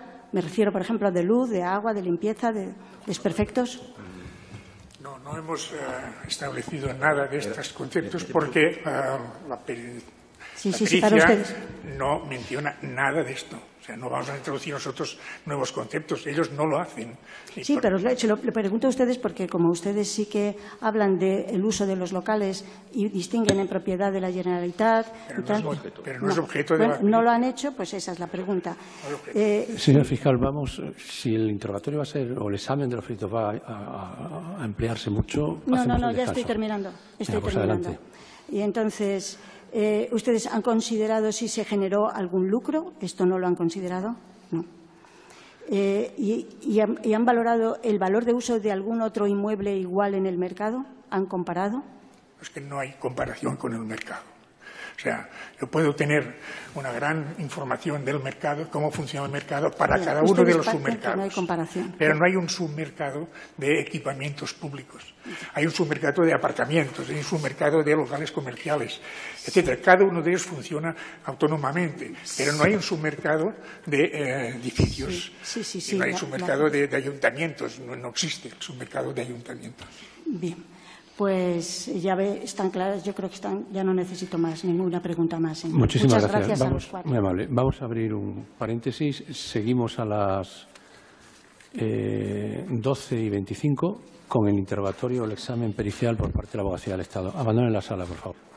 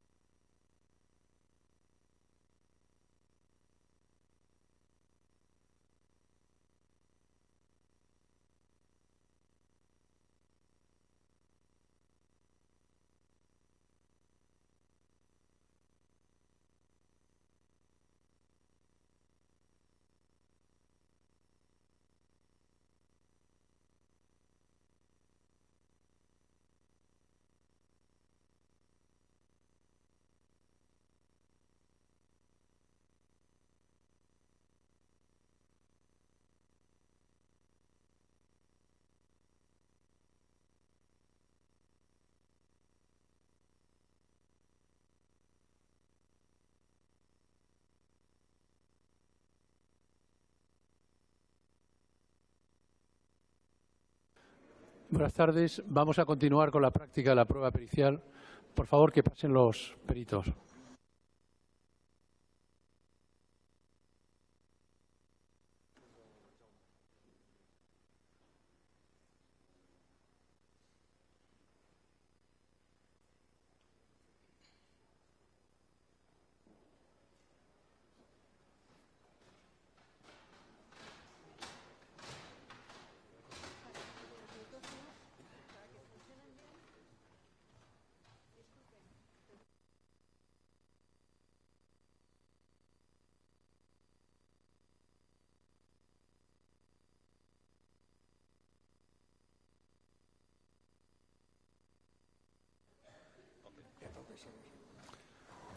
Buenas tardes, muchas gracias. La abogacía del Estado tiene la pregunta. Tiene la palabra, perdón. Con la venia, excelentísimo presidente. Buenos días. Em, em, empezando con los peritos de Ibertasas Egipsa. Eh, ¿Me pueden concretar, creo que lo han dicho someramente antes, pero concretamente, cuál fue el mandato que ustedes recibieron del eh, juzgado para realizar el informe? Eh, si les parece, lo voy a leer textualmente, que está en el, primer anexo, primero, en el segundo anexo del informe. Un segundito. Mire, en la medida en que el informe consta y está incorporado a la causa, vamos a prescindir, por favor, de su lectura. Era valoración de uso eh, de eh, locales eh, en concepto de alquiler o de arrendamiento informe pericial estimativo del valor de uso por arrendamiento de los locales que fueron cedidos, habilitados, etcétera, etcétera. A los eh, peritos de la defensa. Eh, ustedes, cuando plantean la disconformidad eh, con el informe de Ibertasas Egipsa y dicen, niegan la posibilidad de que estos locales sean objeto de arrendamiento, entonces, ¿manifiestan su discrepancia con lo que les pidió el juzgado? Y segundo, si ustedes hubieran recibido un mandato semejante? Eh, ¿Habrían eh, aplicado un método similar al aplicado por Ibertasas Egipsa? Mire, a la primera pregunta no nos han solicitado nada los magistrados. ¿eh? Nos han solicitado la, defensa, primera pregunta. Y en cuanto a segunda pregunta, nosotros, evidentemente, hubiésemos dicho que no ha este valor, puesto que los edificios públicos no son sujetos a rentas, rentas de alquiler. ¿eh? Eh, que no están sujetos a alquiler. No están. Entonces, insisto, ustedes con lo que discrepan es con el enunciado de lo que se les pidió a los peritos. Sí, exactamente. exactamente con el enunciado. Y reitero, si a ustedes les hubieran pedido, si se les hubiera pedido una valoración, por ejemplo, contradictoria, eh, con el mismo criterio, ¿qué metodología habrían seguido? La metodología. si se les hubiera pedido una valoración de uso de eh, los locales en concepto de alquiler. Hubiésemos contestado, hubiésemos informado lo que acabo de decir, y es que los edificios públicos destinados a equipamientos públicos no están sujetos al régimen de alquiler. No hay contratos de alquiler por ningún lado y, por lo tanto, no hay posibilidad de hacer un dictamen de este tipo. Y entonces no realizarían valoración ninguna. Exactamente. Muy bien. Eh, teniendo en cuenta la naturaleza de bienes demaniales que, eh, de la que se parte en todo caso por los cuatro peritos. Em, a los peritos de Ibertasas Egipsa, eh, los bienes demaniales, aun siendo demaniales por el uso al que están destinados, ¿tienen un valor? Hombre, yo creo que es indudable, efectivamente, simplemente para obtenerlos el el Estado, la Administración, pues ya tiene que gastar dinero en comprar o expropiar para empezar. Pero además que, bueno, luego su uso, de, cualquier amarre de un puerto, cualquier local comercial en un área industrial, cualquier cosa de estas, tiene su canon, su tasa, independientemente del nombre que se use o de la figura que se use. Hemos valorado, y eh, Cámara también, eh, hemos establecido cánones efectivamente de uso de puertos y de aeropuertos en, más de una ocasión. Bien. Peritos de en el sentido de que, eh, por ley, todos los bienes públicos, sean del Estado, sean de la Generalitat, sean de los ayuntamientos, tienen que tener un valor. Tienen que tener un valor. Puede ser el valor catastral o no, pero tienen que tener un valor. Esto por ley. Pero además, todos ellos tienen un valor catastral. Punto. Bien. Entonces, eh, precisamente, eh, al hilo de lo que usted dice, que los bienes sean del Estado, de los entes locales o de la Administración autonómica o de la Administración corporativa, me da exactamente igual, eh, eso no altera la circunstancia de que todos los bienes tienen un valor. Todos los bienes tienen un valor. Entonces, eh, el hecho de que los bienes tengan una titularidad u otra no afectaría a, a ese valor. No. Es una cuestión jurídica ajena a una cuestión técnica como es el valor de los bienes. No, no es técnica, es que, insisto, jurídica, digo legalmente, todos los bienes del Estado, comunidades autónomas, bienes locales, deben tener un valor. Hace, mm, ¿Seis años? Hace seis años se requirió a todas las administraciones que valoraran todos sus bienes Bien, en el caso de los bienes demaniales, les pregunto a, los cuatro peritos. En el caso de los bienes demaniales, eh, ¿es ese valor de los bienes el que se toma como base para calcular, en su caso, eh, el canon de ocupación en caso de autorizaciones y concesiones? La legislación, dependiendo de si, son bienes de corporaciones locales o bienes autonómicos o bienes del Estado, establecen determinadas eh, legislaciones o reglamentos eh, porcentajes. Normalmente, primero obliga a una referenciación al valor teórico de mercado, al valor de mercado, luego es una indexación indirecta y luego aplica determinados porcentajes dependiendo del tipo de bienes y dependiendo de, su utilización. Antes me he referido al texto refundido de la ley de puertos, por ejemplo. Eh, yo he trabajado personalmente en la valoración eh, y he, sido, he trabajado para la Autoridad Portuaria de Barcelona para calcular tasas de ocupación de suelo dentro del recinto portuario, es un bien de dominio público, para el cual la normativa, en este caso normativa del Estado, que es la ley de puertos, establece un 5,5, un 6,5 o un 7,5% del valor que tendrían en el mercado, y además lo dice ley, como si fueran bienes en el mercado, en el mercado libre, se le aplica un porcentaje, luego es una indexación.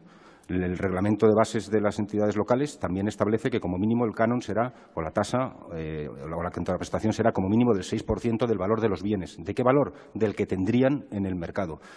Es decir, son indexaciones directas para estos supuestos, pero son supuestos de utilización de bienes públicos para los cuales existen criterios de fijación de, una contraprestación económica por su utilización. Luego el procedimiento puede ser concesión, puede ser eh, distinto según el procedimiento o el tipo de inmueble.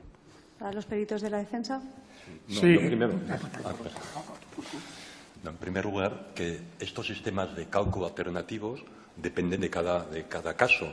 No es lo mismo valorar para tasas que para concesiones administrativas, que cualquier otro tipo de contrato que pueda hacer la Administración pública. Lo que no es correcto es valorar por la ley de arrendamientos urbanos de naturaleza civil, que es lo que estamos haciendo aquí. Eso es lo que no es correcto. Bueno, yo quisiera matizar, mm, no existe ningún criterio de valoración con la ley de arrendamientos. Es decir, eh, no, hay, una normativa de valoración de arrendamientos. La ley de arrendamientos será aplicable o no para eh, plasmar jurídicamente un contrato de cesión de uso. Lo que nosotros hemos aplicado es una normativa de valoración por arrendamiento por arrendamiento, pero, insisto, se le puede eh, cambiar por el concepto de contraprestación económica, pero la normativa y el criterio de valoración es el mismo que se utiliza y que se puede utilizar perfectamente para la valoración de bienes demaniales en otros escenarios. Bien. Ah, es de conocimiento público que anualmente los ayuntamientos aprueban unas tasas ¿eh? anualmente de los eh, servicios que han de prestar las entidades privadas, ¿eh? anualmente, así como se forma parte de los, de los presupuestos. Por tanto, anualmente se fijan estos porcentajes que están diciendo los peritos, los compañeros, ¿no?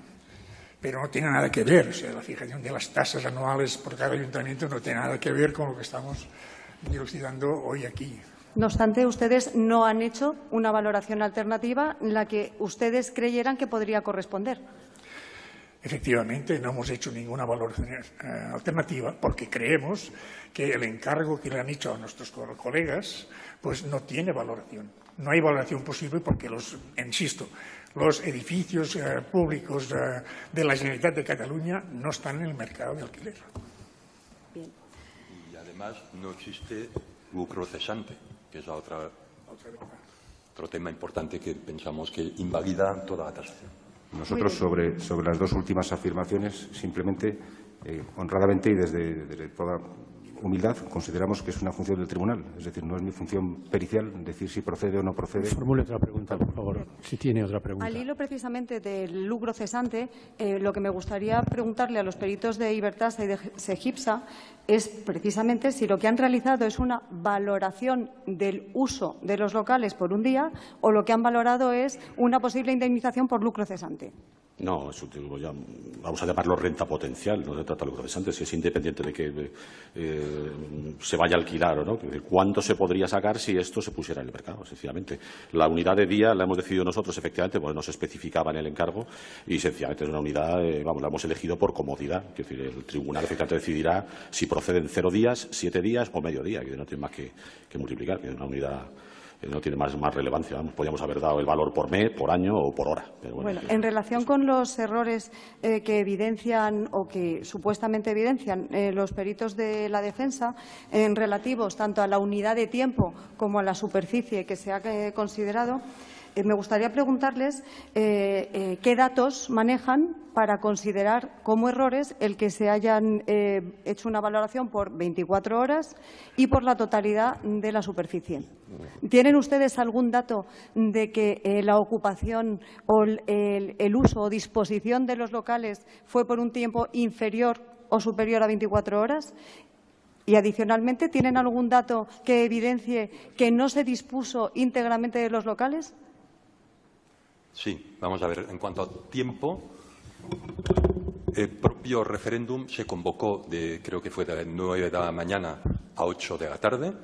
Si bien es cierto que en muchos casos muchos colegios ni tan solo pudieron estar abiertos todo este periodo. En todo caso, lo que es evidente es que ningún, yo no conozco ningún proceso electoral de 24 horas. Siempre hay un periodo de votación, un periodo de recuento y quizás serían 12 horas, serían 14, pero en ningún caso 24. Discúlpeme, en cuanto a este, en cuanto a este dato, ¿ha consultado usted con alguna administración electoral eh, sobre pues con qué antelación tiene que ponerse, tienen que em, ponerse a disposición en el lugar eh, el material electoral? Permítale que haga una aclaración que, en el momento en el que la estaba haciendo le ha preguntado a usted otra cosa. Ah, bueno, sí, un segundo. El tema de, de horario. Sobre las 24 horas. Sobre su desacuerdo en el hecho de que se fije un parámetro de valoración de 24 horas. Bueno, en, el informe hemos hecho constar que todavía se puede consultar hoy por una página web el horario estricto de las valoraciones. Y efectivamente mm, se puede ver que, creo que era a las 8 de la mañana debía estar presente, a las 9 se empezaba y en todo caso a las 8 se cerraba. Ahí no salen 24 horas, pero es que tampoco conocemos ahora mismo, tendremos elecciones ya y en ningún caso hay 24 horas de votación. Esto es evidente que, en el mayor de los casos, pues a lo mejor tendremos 12, 14 horas, no tendremos 24. Pienso que es algo obvio y normal en cualquier proceso electoral. Eh, discúlpeme, en cuanto a la obviedad, esto es, por decirlo de alguna manera, el horario abierto al público. Mm. Eh, ¿No ha considerado usted que es preciso un tiempo mm, con antelación para tener a disposición mm, perfectamente todo dispuesto y que luego también es necesario un tiempo para devolver eh, los locales electorales a su estado original? Uh, lo he respondido ya. Se tuvo una hora antes bueno, discúlpeme, ¿ustedes han tenido en cuenta el horario, la hora a la que tienen que estar en un proceso electoral normal eh, los miembros de las mesas? Vamos a ver, estoy comentando que incluso eh, exactamente se puede consultar en una página web que todavía está abierta de, de y concretamente sabíamos que a las siete y, medio, siete y media había encuentro, encuentro fuera del colegio, a las ocho se abrían los centros, por lo tanto a las ocho no había entrado nadie, a las ocho es el momento en que empezamos a contar, a las nueve inicio de la votación, a las ocho cierre de la votación podemos añadir un par de horas, si queremos, de recuento, si es que fuera el caso. En este caso estaríamos hablando, en todo caso, de 12, 14 horas, en ningún caso de 24. ¿Tienen eh, algún dato oficial de que esto haya sido el tiempo que se En la página 18 de mi informe hay una referencia con un link donde se puede consultar. Ese link no es oficial. Yo les digo, ¿tienen alguna referencia de alguna fuente oficial en cuanto al tiempo de ocupación? Para decir que el tiempo de 24 horas es un error.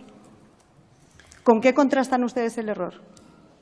Vamos a ver, esta web yo no sé a qué se refiere cuando dice oficial. No sé a qué se refiere. los peritos ya han indicado cuáles son los, parámetros que han utilizado y las fuentes. Y en cuanto a la superficie, ¿cuál es su fuente? Bueno, en cuanto a la superficie, hemos comprobado la superficie catastral de todos los casos y, eh, por otra parte, yo creo que al final en valoraciones hay algo fundamental, que es el sentido común. es imposible pensar que la media de todos los locales electorales de Cataluña es de 2.334 metros. No puede ser porque no puede ser. Es imposible. Y este dato lo tenemos que tener en cuenta. A partir de aquí, ¿qué quiere decir? Pues todo el mundo sabe que cuando vamos a participar en un proceso electoral, de que sea, pues a lo mejor utilizamos una parte de la planta baja, no ocho plantas que hay encima, ni tres sótanos que hay debajo. Hay unas cintas con unos señores que no dejan pasar. Esto siempre es así. Tienen ustedes, se lo digo porque como ustedes hablan de error y hablamos de magnitudes objetivas, es decir, es un error objetivo, ¿tienen ustedes algún parámetro eh, para poder decir que no estaban puestos a disposición la integridad de esos inmuebles? ¿Tienen alguna fuente de información, algún dato que les permita afirmar, aseverar que eso es un dato y que realmente no se disponía de los inmuebles? Fíjese, fíjese que lo que han elaborado es una contrapericia. Sí es una contrapericia a partir de las afirmaciones que hacen los peritos. Entonces, reprocharles que ellos no hayan ido más allá de, o no hayan ofrecido una pericia alternativa, creo que es exigirles lo que, lo que no se les debe exigir. No, lo que les pido es que me digan cuál es la fuente de conocimiento para poder afirmar que hay un error. Lo han comentado, lo han dicho. Lo han dicho. No, el error, entonces la fuente es el sentido común. Pero, no, no, no, no. A ver, formule por favor otra pregunta. disculpe, señoría, pero es que eh, sí que me gustaría concretar si la fuente para poder decir que es un error considerar que la totalidad de la superficie estaba destinada es como ellos el han dicho, error de los peritos ya entra en el terreno del razonamiento y ya entra en el terreno de un momento posterior a lo que es eh, en fin, la valoración de lo que están ofreciendo los peritos. Son metros cuadrados, pero bien, de acuerdo. Gracias, ¿quiere otra, ¿Tiene otra pregunta? Em, En cuanto a las visitas, eh, tratándose de una, eh, ustedes también, eh, los peritos de la defensa, reprochan que no se haya hecho un análisis pormenorizado, detallado de los locales, que no se haya visitado cada uno de estos. ¿Ustedes han realizado alguna visita a los locales, a los inmuebles donde, que se destinaron a centros de votación? ¿Nosotros? Sí. A ver, nosotros somos de la zona, conocemos perfectamente muchísimos de los edificios, hemos consultado por catastro, fotos aéreas, etcétera, y hemos podido ver. En todo caso, no hemos hecho la visita a los 2.259 locales, si esa es la pregunta. Pero, de todas maneras, sí que tenemos elementos objetivos, como, por ejemplo, en la página 20 de nuestro informe, hemos puesto de manifiesto, hay una foto que se ve, es la Escuela del Treball, una escuela, la escuela industrial también se llama, de Barcelona, donde se están ahorrando 73.000 metros, donde tiene algo así como 10 o 12 edificios independientes. Es evidente que esto no se puede destinar a un... es imposible destinar esto a un uso electoral. Es imposible. Vaya, pongamos que han utilizado 500 metros. De 500 a 73.000, el error es evidente. Bueno, yo les preguntaba si habían realizado visitas. Y una última pregunta. Eh, para mm, en realizar una valoración masiva como es esta de más de 2.000 inmuebles, eh, ¿es frecuente, es habitual realizar visitas a todos y cada uno de los inmuebles? Nuestra experiencia, la mía personalmente, es que siempre se han de visitar los, eh, objetos de, de valoración. Pero nosotros estamos haciendo una contrapericial y la pericial misma dice que no han visitado ninguno de los locales. No tiene sentido exigirnos ahora nosotros que visitemos a todos los locales. No, no yo no les Puesto nada, solo le preguntaba. Me, está ¿eh? preguntando si hemos visitado a todos los locales. No, no, ninguna pregunta más. Muchas gracias. Muchas gracias. La Acción Popular. Bueno. Con la venia de la excelentísima sala. Eh, la pregunta es para los peritos, los que acaban de hablar, que han respondido a la, a la abogacía del Estado. Sobre el uso de los metros cuadrados que ustedes informan, eh, para quedar reducido únicamente a la valoración, en su caso, según su criterio, si se pudiese realizar, de los metros efectivamente utilizados, según su leal saber y entender, el resto de los metros que no se utilizaron podría haber sido usado para otro uso diferente al que se le dio ese día.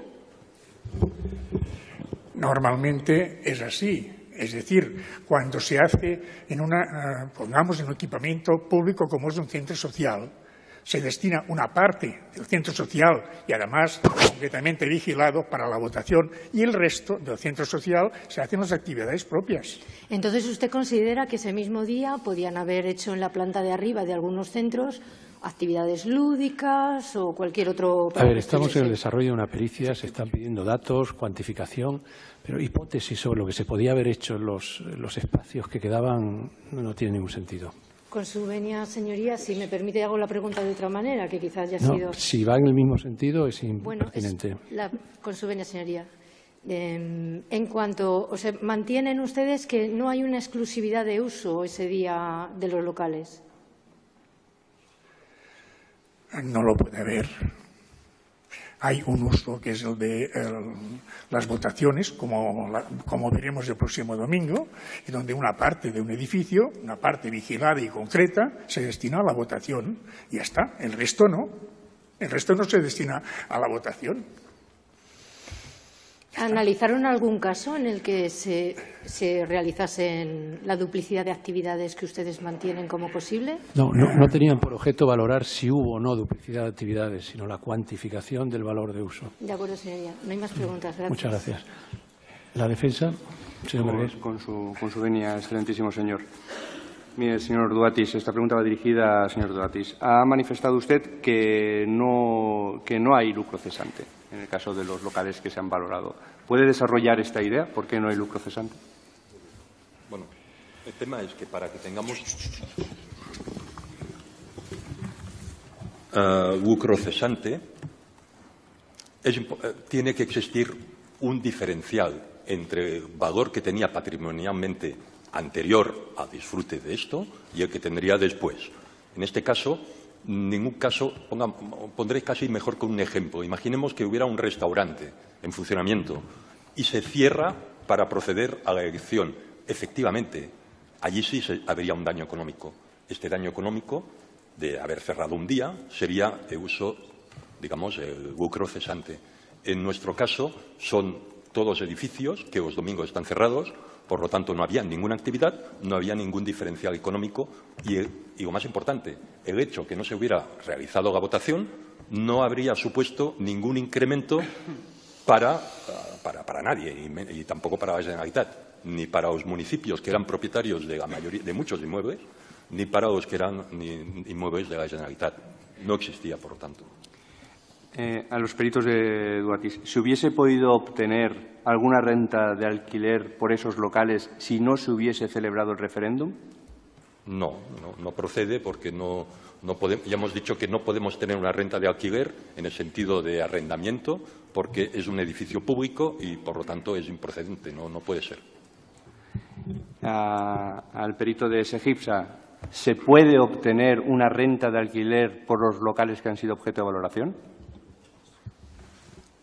Pues se puede obtener una renta con la figura, bueno, llámelo usted como quiera, mediante canon o lo que sea. no, la estoy llamando renta de alquiler, una renta de alquiler. Yo, yo, soy arquitecto, yo no soy jurista, si la figura es correcta o no, y no sé tampoco si cada comunidad autónoma tendrá una disposición u otra. Es decir, pero vamos, que los salones municipales se ponen a disposición del público y se cobra por ello, es una cosa. Pero permítame, permítame el objeto de la pericia precisamente es valorar si los locales pueden ser objeto de alquiler. Yo le estoy preguntando esto, ¿se puede obtener una renta de alquiler? No, ese es el objeto de la pericia, es el valor de uso. El valor de uso. Lo del alquiler se, es añadido. ¿Quiere formular o reformular la pregunta? O? La pregunta es si se puede obtener una renta de alquiler por el uso de esos locales que han sido objeto de valoración.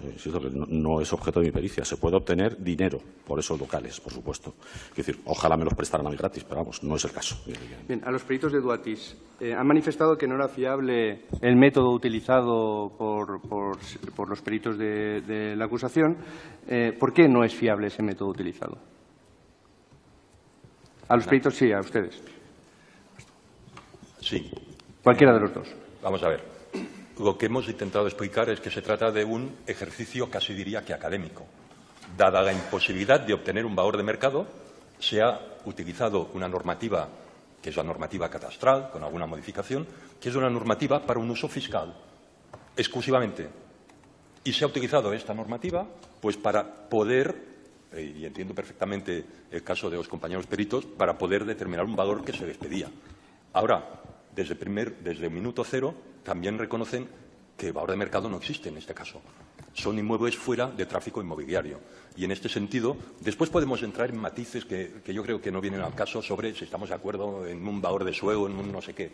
Pero es que el concepto, el concepto, que es de donde estamos hablando, es decir, de alguna manera se ha convertido la, eh, la metodología de valoración, estará mejor o más bien hecha, como sea, pero en todo caso que no reproduce o que sería valor de mercado que hubiera tenido estos locales el día de referéndum. Si no he entendido bien, el método que, utilizan los peritos de la acusación es un método catastral para hacer su valoración. ¿Tiene inconvenientes utilizar este método? A ver, como todo método eh, requiere eh, una pericia y requiere una, digamos, eh, utilización, una buena, correcta utilización. Ya hemos dicho antes, los peritos lo han han explicado, que han ido a por el concepto de valor catastral es igual a valor del suelo más valor de la construcción más costes, etc. ¿eh? Ellos han utilizado y han defendido que solamente se han quedado con que el valor era igual al valor del suelo y el valor de la construcción. En eso estamos de acuerdo. En donde no estamos de acuerdo es la forma de obtener el valor del suelo y la forma de obtener el valor de la construcción que también se ha explicado antes, pero yo puedo insistir más en esto. ¿no? Deberían haber tenido en cuenta los polígonos fiscales de, Barcelona y de las ponencias a las que tuvieran alcance. Sí, esto ya lo he explicado. Es, pues eh, ¿Es posible obtener un valor de mercado real de esos bienes? Les pregunto nuevamente a ustedes, de esos locales. Es muy difícil. A ver, eh, pongamos, por ejemplo, en mi ciudad, donde yo nací, en Valls. En Valls, uno de los colegios electorales es el ayuntamiento el ayuntamiento no se puede establecer un valor de mercado. No hay mercado de ayuntamientos. Y en cualquier caso, ¿el valor de mercado puede ser más bajo que el valor catastral? Objetivamente. No lo puede ser porque hay una ley que fija que los valores catastrales se acercarán al 50% del valor real. ¿Es correcto el método, les pregunto nuevamente a ustedes, ¿es correcto el método utilizado por Ibertasa para calcular la renta? Yo antes he comentado que, independientemente de, que sean correctas las fórmulas utilizadas, hay algo que, en valoración es lo más importante, que es el sentido común. No puede ser que pensemos que un edificio público, que sea una biblioteca municipal, que sea una escuela, no tiene sentido que tenga una rentabilidad mayor que una oficina en el Paseo de Gracia. No puede ser. No tiene, yo, en mi opinión, está fuera de mercado y, en todo caso, es un error que incide mucho en la valoración. Fíjense ustedes de qué manera. Si primero se llega, por el camino que sea, se llega a determinar el valor de del inmueble, pongamos por caso 100.000 euros, me da igual, se le multiplica por este 7,25% para calcular la renta que después imputan. Si en lugar de 7,25 ponemos un 3, ya ven que el resultado es, bajamos a menos de la mitad. Y este, por decir algo, 3, es más propio a mejor de oficinas incluso o, mejor dicho de incluso de viviendas etcétera de usos lucrativos. Y estamos hablando de un tema que no son usos lucrativos que son usos públicos que por lo tanto están fuera del mercado inmobiliario como, como todos los cuatro peritos reconocemos y que carece de sentido pues de valorar de esta manera ¿Más preguntas? Sí, sí, con su venia, señoría. Eh, al perito de, de Segipsa. Perdone, presidente, es que yo creo que el perito de Ibertasa... Sí, quería saber si podía intervenir para contestar a lo que había dicho el compañero. Y si quiere hacer algún matiz, puede hacerlo. sí, bueno, lo, que no quisiera es repetir todo el argumentario que hemos hecho antes de la pausa. Eh, me remito a mis intervenciones, a nuestras intervenciones anteriores. Eh, pero sí respecto a lo último que ha, que ha manifestado el perito señor Duatis, es decir, cuando dice el, tema del 3%, es decir, vamos a ver, eh, la rentabilidad exigible a un equipamiento privado en el mercado es infinitamente superior a la que se le exige a un local comercial en un eje comercial principal, que sí puede estar en el 3% en un eje comercial principal de Barcelona, como el Paso de Gracia o como eh, el Portal de Ángel, por decir algo cada producto inmobiliario en el mercado, su rentabilidad en, ubicaciones importantes es conocida. Es decir, en el caso de Barcelona podemos estar en una rentabilidad real del 3% en ejes comerciales, del 5,5%, 5,25% en industrial logístico en toda la zona de zona franca y zona, y zona periférica de lo que es el cinturón industrial de Barcelona, y a los equipamientos es decir, nosotros lo hacemos cuando hacemos valoración hipotecaria todos los días para financiación hipotecaria. Los equipamientos privados normalmente no bajan del 7, no bajan del 7. Luego, mm, lo digo porque me parece que puede ser un poco contradictorio o confuso para el tribunal o para las partes entender eh, que como es un equipamiento público tiene que ser un 3. No, es decir, la indexación del uso de equipamiento se le exige siempre en el mercado una rentabilidad superior a la que puede tener un uso comercial o a la que puede tener un uso industrial logístico, como en este caso en el que, nos ocupa. Y respecto... Otra pregunta, sí, con, su venia. Sí, al perito de, de Segipsa, ¿pudieron comprobar si todos los locales que han valorado se abrieron efectivamente el día 1 de octubre o se cerraron por la policía? No. Eh, el objeto de la pericia no era comprobar si estaban o no abiertos los Bueno, pero como valoran la superficie, están haciendo una valoración pues de superficie. por los parámetros, pero pregunte si comprobaron si estaban abiertos o no. Y, pues le pregunto también si, si su señoría lo considera pertinente. Si valoraron la superficie total, ustedes han dicho que valoraron la superficie total de cada local. ¿eh? Me estoy refiriendo a los peritos de, de la acusación. ¿Comprobaron cuánta superficie exactamente de cada local se empleó para la votación? Les pregunto a los peritos de la acusación. Ah, perdón. No, no, es decir, el, planteamiento ha sido coger la superficie catastral descontada las superficies eh, exteriores y deportivas.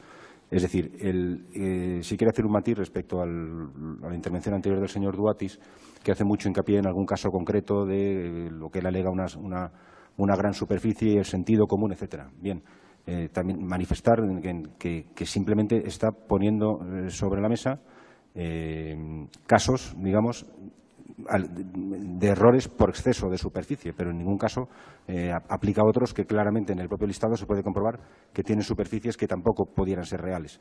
Entonces, quiere decir que eh, solo se están poniendo sobre la mesa presuntos errores o presuntas desviaciones en un sentido y no en los dos. Es decir, los, que, puede haber por exceso y los que puede haber por defecto. Si me permite. Eh, yo estoy de acuerdo completamente con el perito pero lo que no estoy de acuerdo es que la media, la media de los locales que ellos han valorado es de 2.334 metros cuadrados. Sí, lo ha dicho, lo ha dicho. hay un error. 2000, No, 2.494. Bueno, no es lo mismo. De todas maneras, eh, decir esto, es un tema, es un juicio de valor. Que yo digo, yo, donde yo voto tiene bastante más superficie. 2.334 que viene fijado el dictamen. A los peritos de, de al perito de Segipsa, comprobaron cuál fue el tiempo efectivo en valor control 24 horas, comprobaron en algún caso que esto fue así, Estamos en cuál fue el, tiempo efectivo, pues comprobaron si abrieron todos los locales, comprobaron a qué hora se abrieron. Si su misión no era comprobar, don Mariano, no era comprobar, era sencillamente formular una contrapericia a partir de los parámetros que ha utilizado el, informe pericial de la acusación. Bueno, el motivo de estas, lo, el motivo de volvemos otra vez a deslizarnos hacia, hacia consideraciones que desbordan lo que es el objeto de la pericia. Valoran espacio y tiempo. Entonces es lo que intento concretar, si estos espacios y tiempo que se emplean son hipótesis o si realmente todo, todo son hipótesis, tiene que ser todo pues entonces no hay, no hay ninguna pregunta más, eh, no hay ninguna pregunta más. Bien, adelante, señor Molero. Gracias, señor presidente. Con la venia, solo una cuestión. A los señores peritos de la acusación, buenos días. Eh, ustedes hacen mención en el apartado 4 de su informe, localización e identificación de los inmuebles, a que han dispuesto de un informe, un listado de centros elaborado por la Policía de la Generalitat Mossos de Escuadra. Bueno, al menos tiene su membrete. ¿Perdón? Que tiene su membrete puesto, sí. La, pregunta es simplemente si dispusieron de información elaborada por otros cuerpos policiales, Guardia Civil y Cuerpo Nacional de Policía. No, es el único listado que hemos tenido. Nada más, muchas gracias. Bueno, pues, dígame. Señoría, con la venia al tribunal, dos preguntas muy concretas eh, referidas a la metodología del informe de los peritos de SEGIPSA. Eh, la primera, si, como han hablado ustedes de su experiencia eh, en la imposición de tasas en puertos, en zonas portuarias, públicas, etcétera, si valoraron, a la hora de establecer su dictamen, como alternativa a establecer un valor de uso de esos locales, si valoraron como alternativa la posibilidad eh, que ofrece el artículo 22.1 del texto refundido de la Ley de Patrimonios de la Generalitat de Cataluña de ceder eh, el, uso gratuito de bienes patrimoniales, si lo valoraron como alternativa. El, criterio de cálculo, bueno, ya lo hemos explicado, sería la renta potencial y no si el, si el escenario fuera la cesión gratuita, pues entonces evidentemente el valor sería nulo. Bien. no sería el escenario que se nos ha pedido. Eh, muy bien. Y la segunda, al final, eh, todo su cálculo parte del valor catastral, ¿no? Como método de valoración de los inmuebles. Y a partir del valor catastral establecen ustedes las fórmulas para el cálculo. Bueno, ahora pregunto. O sea, la base es el valor catastral. no, no, pero no es el valor catastral que se obtiene de la aplicación exacta de la normativa. Es un valor que está indirectamente eh, basado en metodología catastral, pero no es el valor catastral que figuraría en el recibo del IBI de cada uno de los inmuebles, porque eso exigiría, exigiría la, eh, bueno, pues tanto la inspección como la aplicación de todos los coeficientes específicos que para cada situación establece la propia norma. Es una aproximación, es un, valor de reposición basado parcialmente o subsidiariamente en la normativa catastral. la normativa catastral, bien. Entonces, eh, claro, como el valor catastral como aproximación es uno de los métodos de, comprobación para determinar el valor de los inmuebles del artículo 57.1 de la Ley General Tributaria, les pregunto yo por qué no han tomado en consideración los, alguno de los restantes ocho métodos de valoración que establece la Ley eh, General Tributaria en su artículo 57.1, si la conocen. Pues, pues, pues son, para las finalidades que marca esa disposición, que no es la nuestra. Y la última pregunta, señoría, si a la hora de basar su informe en esta aproximación al valor catastral han tenido en cuenta la jurisprudencia del Tribunal Supremo de la Sala Contenciosa Administrativa que determina la inidoneidad del valor catastral para valorar inmuebles por su generalidad, si la conocen y se la han tenido en cuenta. No, no vamos a examinar de jurisprudencia la sala tercera a los peritos. Pues, eh, la pregunta, señoría, no hay más preguntas. Vale. ¿Podría hacer un matiz? ¿Podría hacer una intervención? Esto, eh, su presencia es exclusivamente para responder a las partes que quieren escuchar algo que usted eh, puede aportar de conocimientos técnicos. Ya no hay más preguntas, ya no hay más respuestas. Gracias por su disposición, en cualquier caso. Gracias. Hemos terminado. Les pido también disculpas por, en fin, por los retrasos y por las alteraciones de hora.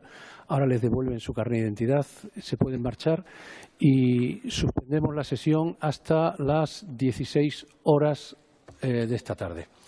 Abandonen la sala, por favor.